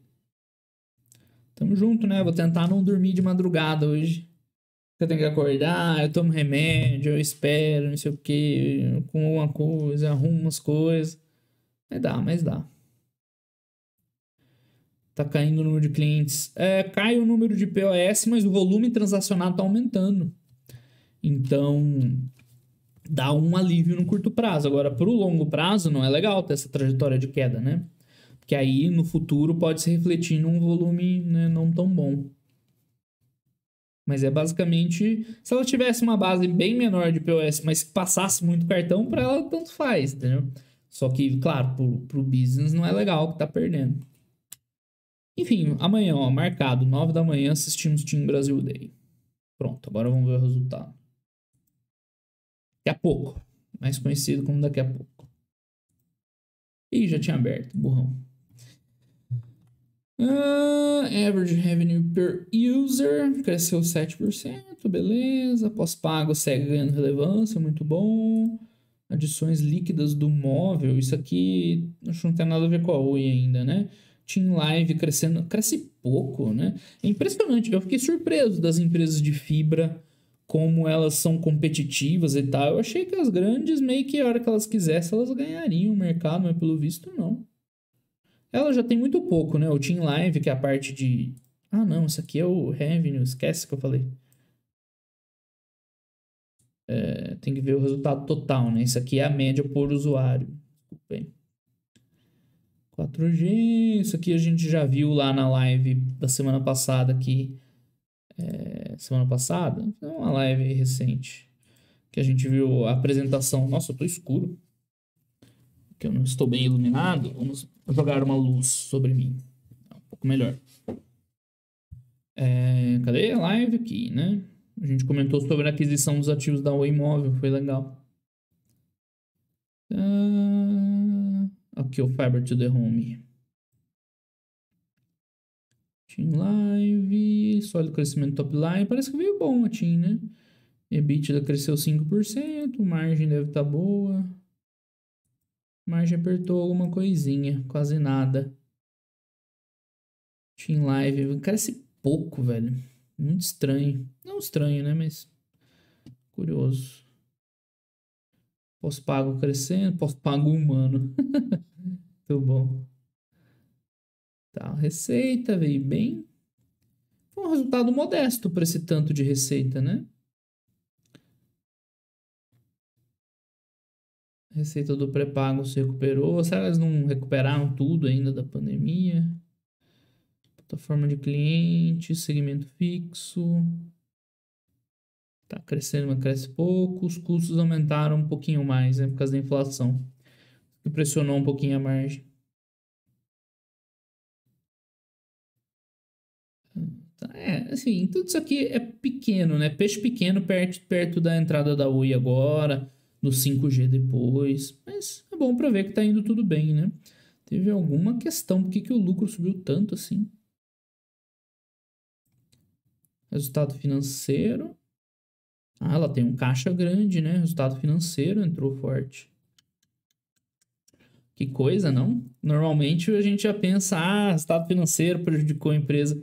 Negativo, né? A TIM tem um caixa substancial. E olha que isso aqui é, tu, é tudo leasing, né? Tudo leasing operacional. Bastante caixa. O resultado deu uma bombada. É melhor olhar o EBITDA, né? Com calma. Embora isso aqui é dinheiro da TIM, tá? Ela tem caixa, tem. Tem dinheiro. Tem, a taxa de juros aumentou, é dinheiro que ela ganha, né? Claro. A gente tenta olhar a continuidade do negócio no longo prazo, né? Óbvio, é bom ela ganhar dinheiro com resultado financeiro, mas né? Daqui a pouco isso aqui vai ser investido lá na Oi. Tá bom os números da TIM, né? Segue redondinho, eu gosto dela. Acho um pouco subestimada aí pelo mercado. Ela deu uma melhorada boa daqui para cá, né? Você olha um histórico grande, o, negócio das telas, das teles não era tão bom no passado, né? Mas hoje acho que melhorou bastante. Se tem mais alguma coisa aí. Lucro líquido, fluxo de caixa, né? Olhar um trimestre assim meio difícil, né? Muito irregular. Capex tá nada demais. Capital de giro entra muito, né? Pagou uma parcela ah, do leilão. Mas por que entra no capital de giro isso aqui? Nossa, os cachorros estão se pegando aqui da vizinhança. Perfil da dívida, tem um caixa cavalar, na verdade. Ah, não, aquela dívida lá já está descontada nos leasings, tá? Dívida total, cadê? 13 bi, verdade. Né? Antes do leasing, que é aqueles 3, 4 bi só. Enfim, ainda assim ela tem um caixa bom. Fechou a compra da Oi, que foi o que a gente discutiu naquele outro vídeo. 20 de abril, então já começa a entrar nos resultados do próximo trimestre. As tranches de subscrição, isso aqui foi uma uma cartada, hein? Os caras que ganharam dinheiro nessa transação com o C6 aí, tanto que ele tentou desfazer depois. Nossa, a TIM tem quase 5% do C6, velho. Vai virar uma holding de investimentos. Enfim, bom resultado da TIM, tá? Claro que agora essa questão da Oi, 5G, é muito mais importante que esses. É muito mais importante, né? Mas vai impactar bastante, mas é bom que ela esteja indo devagar, bem. JSL, não tem nem como olhar JSL direito. Vamos ver o Team Day, 9 da manhã. Estaremos aqui, aqui não, né? Na Twitch. Twitch, viu, YouTube? Desmonetiza aí meu vídeo. Seus noia. Uh, enfim, o que, que faltou? Cara, JCL, assim, vocês têm que aprender que holding, você não analisa resultado.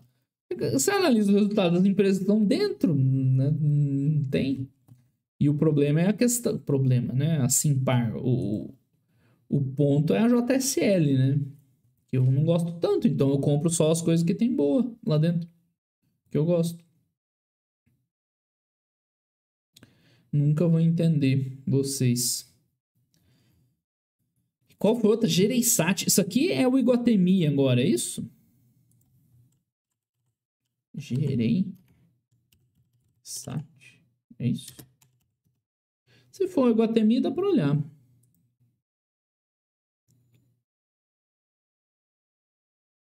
Nove bi de caixa muito. É porque ela vai pagar é, né, o, a aquisição da Oi, vai sair mais caro que isso, né? Não, foi 7 bi, 7 bi e pouquinho. Por isso, ela estava fazendo caixa, não para comprar a Oi, né? Mas para investir. É verdade, o 3R estava marcado aqui, não estava? Não deve ter saído ainda. Deve estar o estagiário lá correndo para fechar o resultado. Vamos ver se dá para ver. Meio perdido, tá na hora de terminar. Tá bom. Não quero falar, eu quero ver resultados. Vamos ver se tá tão bom igual o Multiplan. Bora, filhinho. Vamos. Tá bonito o release, hein? Gosto dessas fotos preto e branco. Agora é pequeno isso aqui, se imprimir numa folha 4, eu não consigo ler, não. Eu não consigo ler aqui com zoom. Vendas totais. Tá, isso aqui é venda dos lojistas, né? Não tem nada a ver com eles. Mesmas lojas crescendo bem, aluguel, mesmas lojas. Paulada, hein? É o impacto da inflação. Receita bruta forte, líquida forte. EBITDA cresceu menos, por quê? Ah, enfim, ainda tem linearização da época. Teria aumentado 100%. Prejuízo. Variação do preço da infracommerce. Que diabo é isso? O que, que é infracommerce, velho?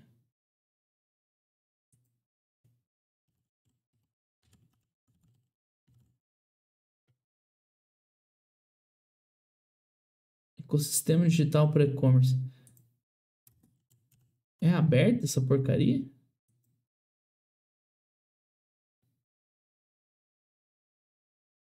Olha só, gera até resultados aqui. Tem ação esse treco aqui? Eita, olha só. Cada dia a gente descobre uma coisa nova. Tá bom. Então tem infra-commerce. Não sabia, não. E tava lá com a Gereissat. Mas isso tinha antes da, da incorporar a Iguatemi? Como é que é? Não tinha, vocês sabem? FFO. Pelo visto, é uma draga essa porcaria aqui, hein? Vamos ver os números. É, não muito auspicioso. Pelo visto, os shoppings da Iguatemi estão bem. Essa porcaria de sem fracommerce está puxando o resultado. Etiqueta única. Aí, ó, já converteram, virou Unity para alegria da galera.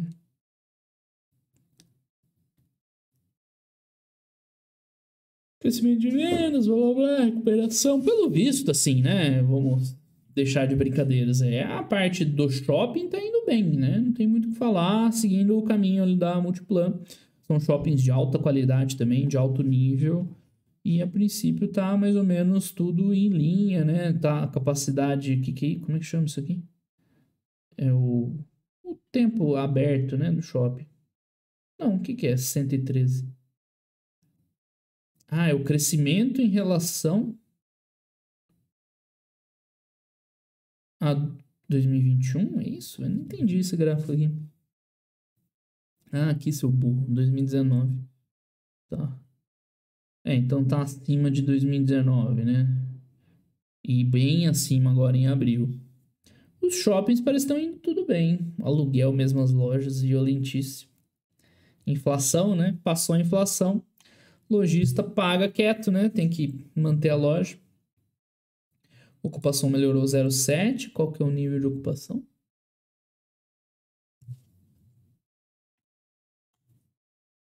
É, nem tem aqui. Reestruturação, a parte né, corporativa digital, etiqueta única, legal. Eu gosto disso aqui, que Iguatemi tinha um aplicativo antes dos outros né, empresas irem atrás e tal. O 365 é isso aqui. Bem interessante. Iguatemi One, isso eu não lembro o que, que é. Ah, é o que tem os eventos e tal. Isso aqui é para conseguir inteligência, né? Dados os eventinhos, Pet Day, Monet. Isso aqui é legal pro longo prazo, né? Porque valoriza cada vez mais a experiência do shopping, não só compras, né? não só um negócio. Paisagem de Van Gogh, legal isso aqui, hein? Aromas. Hum. Da hora, hein? Muito legal. Em 2016 teve a Eurocopa na França, foi a última Euro num país só, sede. E meu irmão mora lá, né? Aí eu fui para lá, a gente assistiu vários jogos, assistiu uma semifinal, França e Alemanha. E a gente foi pro sul da França, então foi muito legal. Eu vi muita coisa de Van Gogh lá em Paris. E aí depois a gente ficou em Marseille, ficou rodando ali nas cidades. Aí você via as cidades que o Van Gogh morou. E aí, cara, você via os quadros que ele pintava e, tipo, a cidade lá era igual em Arles, lá tem o rio. Cara, o Starry Nights lá, tipo, você tem um déjà vu olhando ali o rio e tal pra porra, né? Cara, certeza que pintou tendo essa vista aqui, fantástico. Então é bem legal essa viagem. Depois a gente foi no. Depois não, né? Em Paris mesmo tem uns jardins lá de Monet, onde tem as obras. Muito, muito legal ver onde os caras viviam. Aí você entende o que, que eles pintavam, né? Os campos de lavanda. Lá tem uns negócios de lavanda até hoje em casa. Enfim, voltando aqui pro resultado, parece que é isso. A parte do shopping tá só alegria. Mas aí tem que ver o que mais tem nessa empresa, né? Eu não conhecia ela depois da reestruturação. Endividamento 2.43 é normal para shopping. Lembra que eu falei no começo da live? Operação imobiliária assim é muito caro você investir, precisa de grana. Então, ou as empresas emitem muito ou rodam com uma dívida mais alta. Tá aí. A Iguatemi para não deixar eu esquecer. Tá, porque não vamos ver mais nada, né? Nos shoppings tá tudo bem, não, não tenho que falar. Ah, taxa de ocupação. Tá bom, né? Tá voltando, não tem 2019 aqui, né? Mas essa pré-Covid praticamente. Tá. Acho que ela sofreu um pouco mais que o Multiplan, né? Em taxa de ocupação. Mas sim, tá bom. De 90 para cima tá bom inadimplência de 5%, um pouquinho mais alto, mas nada demais. Aqui foi o efeito contábil, né, que o pessoal autorizou eles linearizarem os resultados lá na época da pandemia, tudo bem. É, teve lá um pronunciamento lá do CPC sobre isso. Tem vídeo no canal sobre isso, mas enfim, não adianta olhar um negócio que já aconteceu, já acabou, porque, quer dizer, já acabou não, né? Que hoje impacta menos, né? Não faz muito sentido. Tá, essa aqui não tem o que ver, né? Veio tudo bem, na verdade.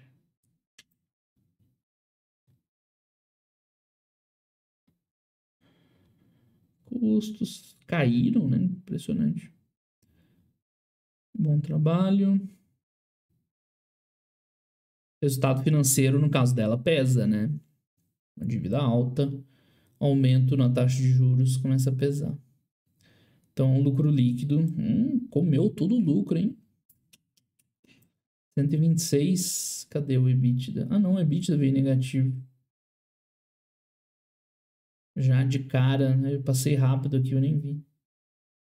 Provavelmente devido a, a que é infracommerce e tal, né? EBITDA consolidado. Não, peraí, peraí, peraí. O que, que é isso e o que, que é isso?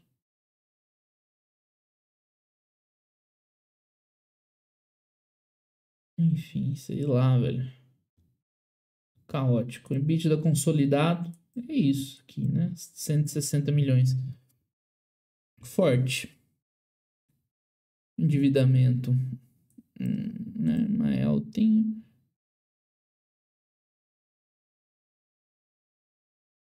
na visão IESC. Eu tô meio perdido, confesso, hein? Custo da dívida, né? Só galopando.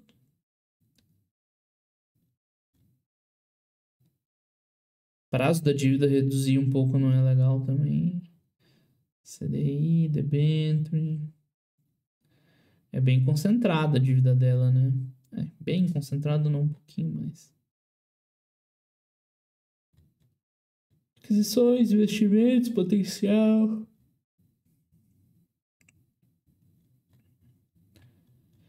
Meio confuso um pouco os resultados ainda, né? Eu que não conheço a empresa direito. Mas pelo visto, essa infracommerce aí tá dragando a Iguatemi, né? Porque o shopping tá voando.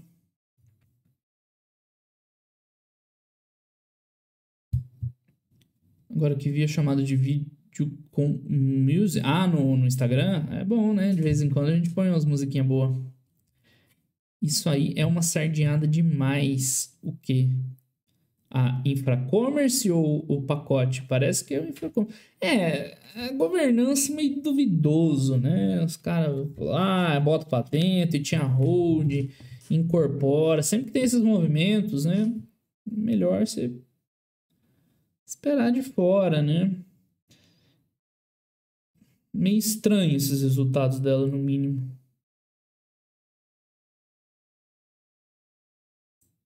Problema de remuneração também. Essas que o pessoal ama. Sempre, né? Comprar empresa redondinha ninguém quer.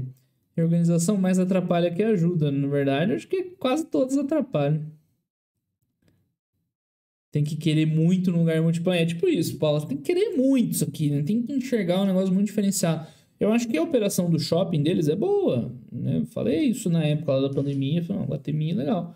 Mas é, é, muita confusão desnecessária. A Multiplan tá redondinha ali, sussa, né? Tem até quadra de beach tênis dentro do shopping. Multi comparando superou 2019. Não vejo sentido ter outro de shopping. Não, o shopping da, do Iguatemi tá bom também. Tá crescendo violentamente também. Mas, pelo visto, os problemas são outros, né? A governança, tem umas empresas duvidosas ali. Não sei, Eduardo. Também tô tão perdido quanto você. Na verdade, eu devo estar mais perdido que você. Não sei, perdidaço. Mas concordo com vocês, né? Multiplan não tem por que você se enrolar em confusão. Mas o shopping em si da Iguatemi não é esse o problema. E aí, última chance, mais alguma coisa? 3R, né? Tem. Vamos ver no site. Infracommerce. Vamos ver os resultados disso aqui. Só a DRE.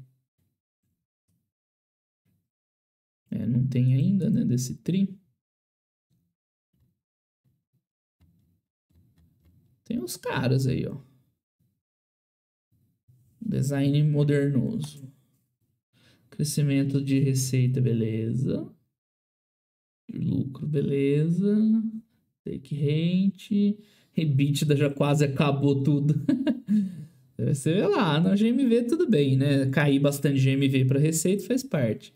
Não é receita, cento e tantos milhões, beleza. Aí você vai vendo, sobrou 18 de EBITDA, ajustado ainda, sabe-se lá por quê. Aqui é 2021. Quanto foi de vida? 26 de vida. Uh, quanto vale essa porcaria? Cielo não. Infra.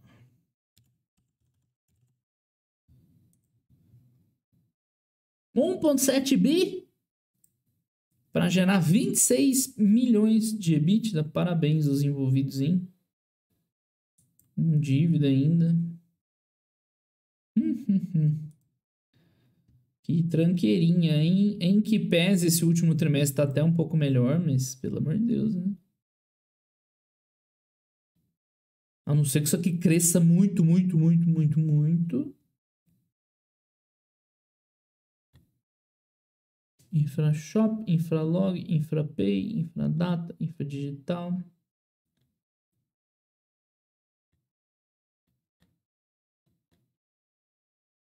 Suécia, Bahia. O Gereissati lá. Tá, e números? Só tem aquilo de número? O resto é só histórias, experiências. Sim, nossa empresa a gente não divulga resultados, a gente divulga experiências. Guidance, vamos lá. Conforme observado, recorde de clientes, entregas, companhia permanece com foco, crescimento, expectativa, guidance. No terceiro tri, vocês não vão falar quanto que é. Ah, tá aqui. GMV. É, é um crescimento forte mesmo. E isso é 13. Ah, tá. Só uma divisão diferente. Guidance de receita forte também.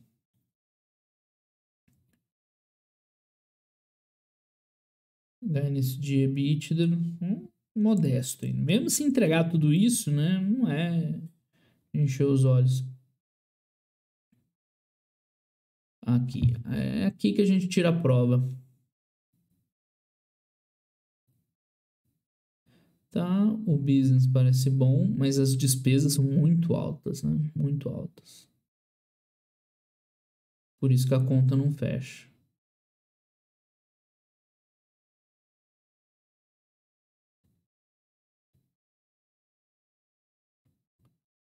Ah, ok.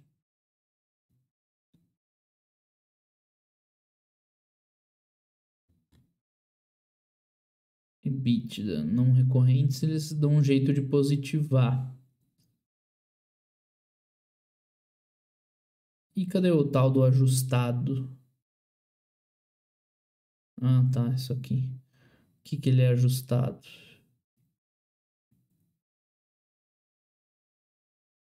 Merge Acquisitions.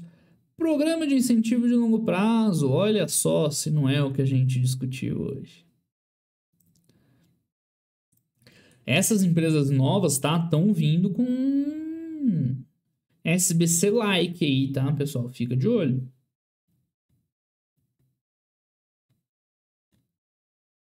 Enfim. Vamos ver se tem aqui. Nossa, mas eles estão de sacanagem, né? Como é que eu vou ler isso aqui, velho? Prejuízo, depreciação, amortização, direito de uso, arrendamento, contingenciamento, remuneração pós-combinação. Não, não é importante. É, sei lá. É, não tem nenhum grande lançamento aqui independente da gente não conseguir ver. Mas não tem nada demais aqui. Sei lá.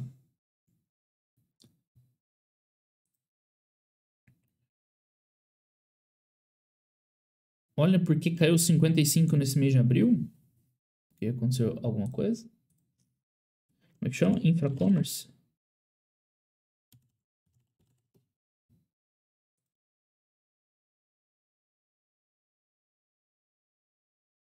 Plano de opções. Ah, garoto. Eu não quero ler o valor. Queria ver isso.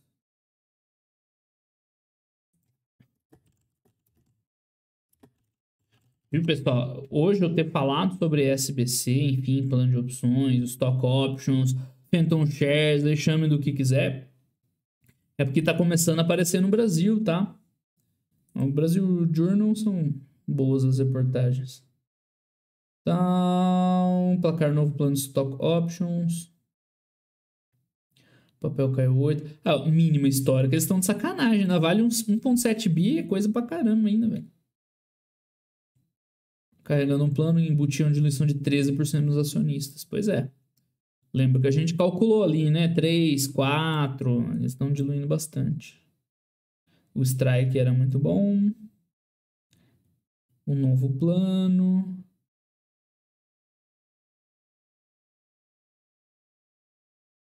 péssimo sinal. Cara, isso por si só é o que eu falei lá da, do Nubank. Isso por si só não é o problema. Cara, remuneração executiva, remuneração tal. A questão é o quanto a empresa evolui, melhora, o quanto isso cabe dentro do resultado dela, tá? O problema não é pagar quem tá trabalhando, tá? Nunca foi. Se o cara tá lá trabalhando, merece, tem que remunerar. O ponto é, né? Qual é o tamanho disso? Como ele se encaixa? Pelo visto, era alto já mesmo antes, né? 13% de diluição é muito. Né? Então, tem tudo para ser valores altos frente ao que ela está entregando de resultado.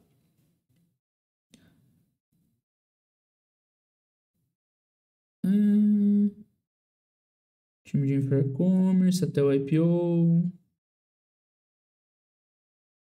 Ó, é isso aqui que a gente que eu falei, que depois o Felipe confirmou. Quando a empresa faz o IPO, geralmente eles liquidam tudo que tem aberto e, e segue, né, e abre de novo com uma companhia de empresa aberta. Por isso que tem os lançamentos extraordinários nos anos de IPO.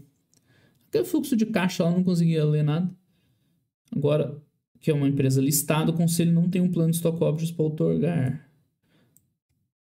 Como é que é? Entendi aqui, mas tudo bem. Novo plano fala uma diluição de até 5%. Ah, entendi. Um relatório hoje, bateu já uma diluição de 13. É, vai cada vez aumentando. Cada parágrafo aumenta um pouquinho. É isso que eu falei para vocês fazerem com as empresas lá.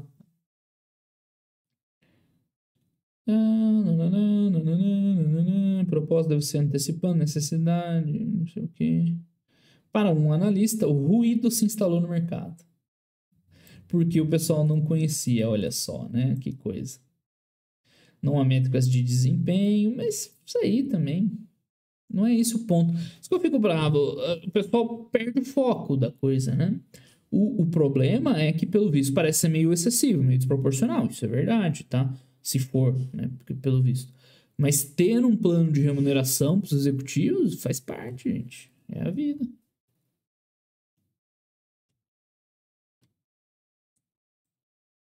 Tá. Aqui, aqui eu tenho que concordar. A empresa deveria se preocupar em gerar riqueza antes de dividi-la. é, a empresa, capital, management devia ter avaliado o timing, é, não é agora. Isso, isso eu não concordo tanto, né? Acho que é mais birrinha do mercado. Pode ir lá e abrir um plano, mas pelo visto ele é meio excessivo, tá? É esse o ponto. Mas tá aí. Bom que fechou a temática da live completa. Ela valia mais de 3 bi, ela despencou, né? Pelo visto aqui. Vamos ver. É, olha lá. Mas 1.7 é muito ainda para uma empresa que tem um guidance de EBITDA de 100 em 2022, né? 100 para 1.7 não é nenhum absurdo, mas ela tem que entregar esse 100 ainda, né? Não tá lá. Enfim. É isso. É, vocês entenderam a história lá, né? Não tem problema em pagar os executivos. Seja como for, qual for o plano. O problema é que, pelo visto, só olhando por cima essas informações, parece que é meio alto, né? E a empresa hoje ainda não é rentável. Então, entra naquela análise que eu falei para vocês fazerem no começo da live. Avalie o quanto ele impacta a rentabilidade e a diluição. Só de ver esses cálculos de diluição ali, a gente já viu que é muito, pelo visto, né?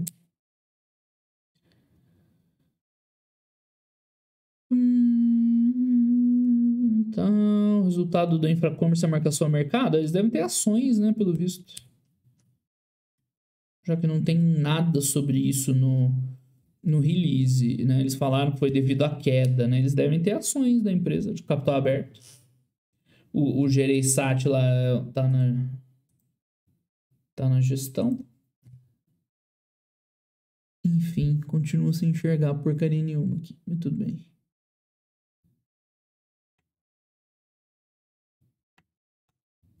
Os caras devem ter. Ah, vamos. É.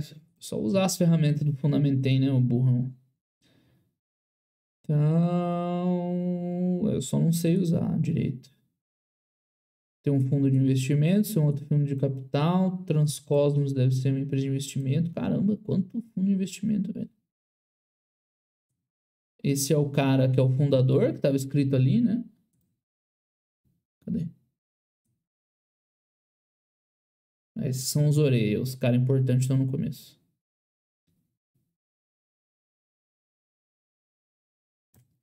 Cadê?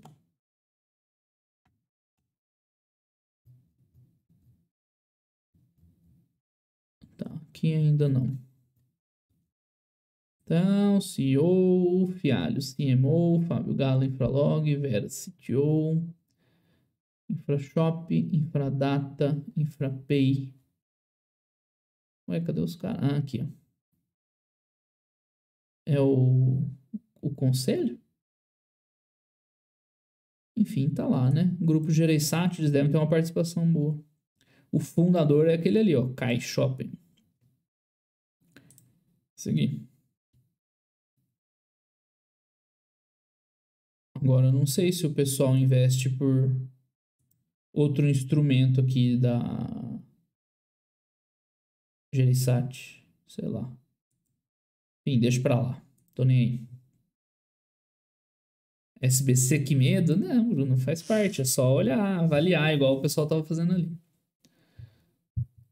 Guatemi é um baita shopping, o problema é ser sócio, é tipo isso. Agora, por que isso está no resultado de uma empresa de shopping? É porque elas têm ações desses caras aí, pelo visto, né? O impacto da queda da Rivian no resultado da Amazon, é tipo isso. Um dia desses analisa SE Limited. Ah, tem SBC, receita diferida, é legal. É a empresa da. É a empresa da Riot? Não, né? É a da. Desculpa, Shopee, não é? É cara, empresa tech brasileira. Não, aí é com eles o problema, né? O meu bolso é o mesmo para empresa tech, para empresa que gera caixa, para tudo. Construtoras, acho que todo mundo lançou prévia já. É, o que, que faltou? Ah, 3R. Pra gente encerrar. Vamos ver se tem um resultado da 3R. Nossa, já é 11 e pouco, velho gente fica aí conversando.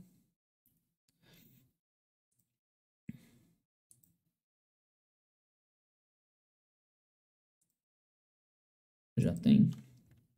Olhar meio rapidinho aí. Tá tarde.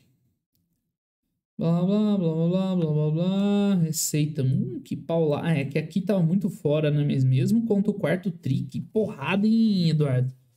Você tá louco, velho. EBITDA vem voando atrás margem nas alturas, produção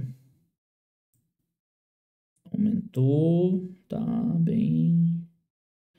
E o preço médio, ó, pra gente ter uma noção, né? O preço médio da 3R ficou na casa de 90, né? Hoje tá mais de 100. É que a PetroRio ela vende em batches, né? Não sei se aqui eu acho que eles vendem de uma forma mais contínua. O lifting cost bom, cara, 3R tá interessante, hein? Essa aqui tá chamando. Ah, assinatura do Paulo Potiguar, essa que a gente já tinha visto. Tá aqui. 42 mil barris. Vai para uns 50. Incremento consistente. Isso é legal, né? Do trabalho que ela faz nos campos de recuperação. Vamos contratas. Tenta. Tudo isso aqui tá né, forte pra caramba. Acionária. Tese de investimento suportada por diretrizes ESG. Extrai petróleo, velho. Os caras não tem vergonha na cara. Então, petróleo disparado, isso é o que todo mundo sabe. Produção diária de 10 mil barris. Uau! Cara, eles acabaram de botar a mão nesses ativos, né? Lifting cost integrado tem caído. Tá, performance das ações, dane-se. Ok, ok. SG de petrolífera tá de sacanagem. Reservas do Polo Potiguar. Tem bastante espaço ainda para né, redesenvolver. É que tá no 2026, né? Pelo visto a meta.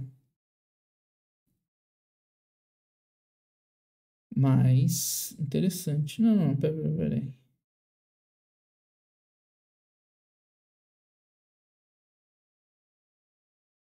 É, tem que ver com calma isso aqui. Pô, a produção esperada, esses 40 mil é lá na frente, velho? Eu não lembro agora, na 3R. Precisa ver com calma. Tá, reservas, eu não analiso por reservas. Macau. Segundo a Rosário, é Macau que chama, não é Macau. Tá, então essa aqui ela já tá, né, operando 100% desde dezembro. E tá mandando bala na produção, né? Impressionante. Como os caras pegaram e a produção, bum, eles pegaram, era 5 mil, foi para 7 mil, sendo que, né, março já fechou 7,400 já. Isso aqui é muito interessante.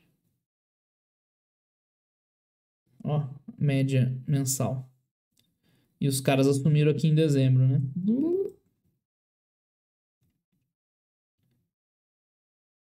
Tá, produção de óleo.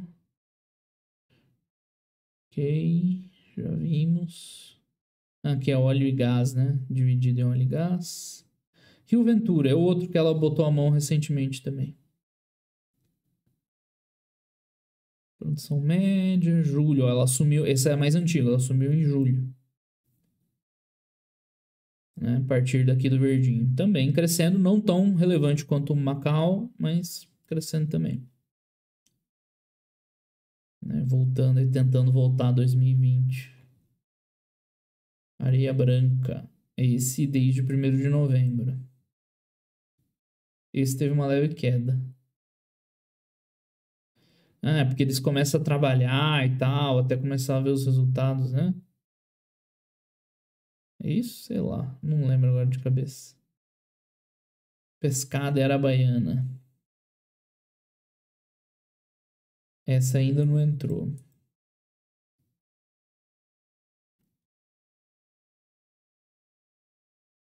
Ah, incluindo pescada. Ah, esses 9 mil eles já estão contando com pescada. Né? Tá. Que ainda não é deles. Pelo menos não fechou o closing. Ah, não, eles têm 35. Desculpa, desculpa, desculpa. Ah, não, mas está incluindo a parte operada pela Petrobras, tá certo.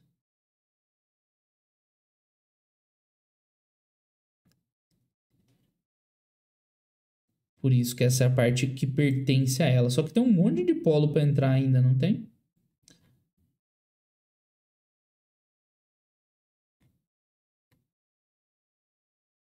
Aqui o portfólio adquirido.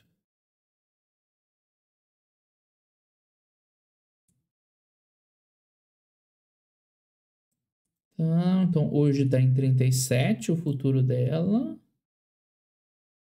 E como é que chega nos 49 lá? É com redesenvolvimento?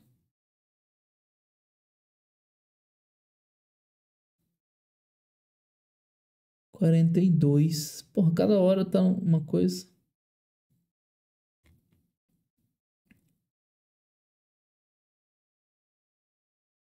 Enfim. Ainda vai voar a 3R. Com EBITDAzinho positivo, margem forte, o Brent alto. Essa aqui é uma empresa interessante. Pois é, Eduardo, eu não entendo porque... É, esses 40 mil é o que ele tá produzindo hoje, né? Só que ela não, não é dela ainda, né? Tá tendo o closing. É isso que eu entendo, mas, mas tem que ver com calma.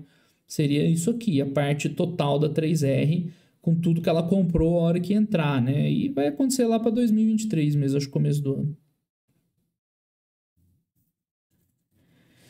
Mas enfim, né? Com certeza ela vai dar um salto de resultado absurdo no ano que vem, né? Muito, muito grande. Vai ser uma empresa bem, bem interessante. E é muito legal ver esse trabalho que ela já está fazendo, né? Nos, nos campos que ela já está assumindo, que pode acontecer com os outros também, né?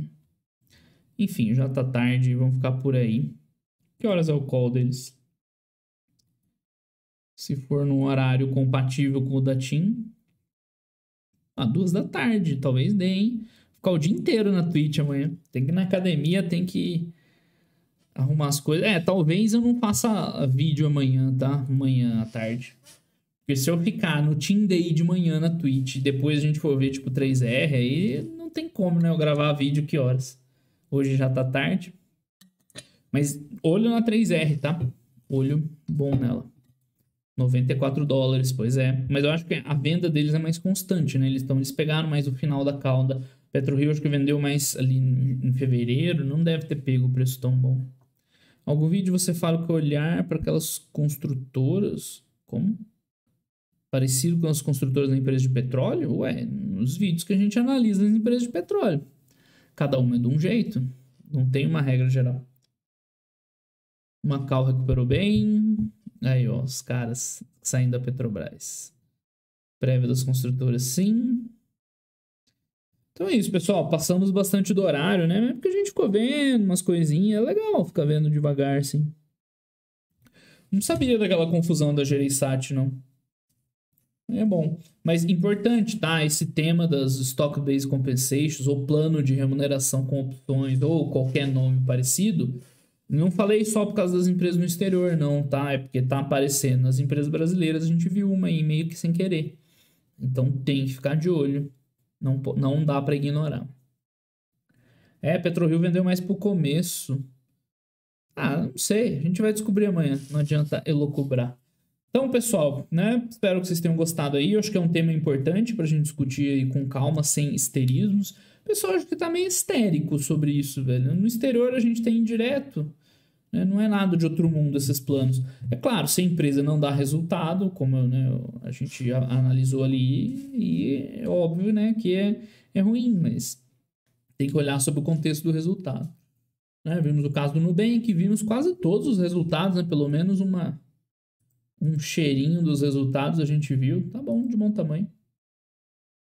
Incluindo o 3R que saiu agora no final da noite.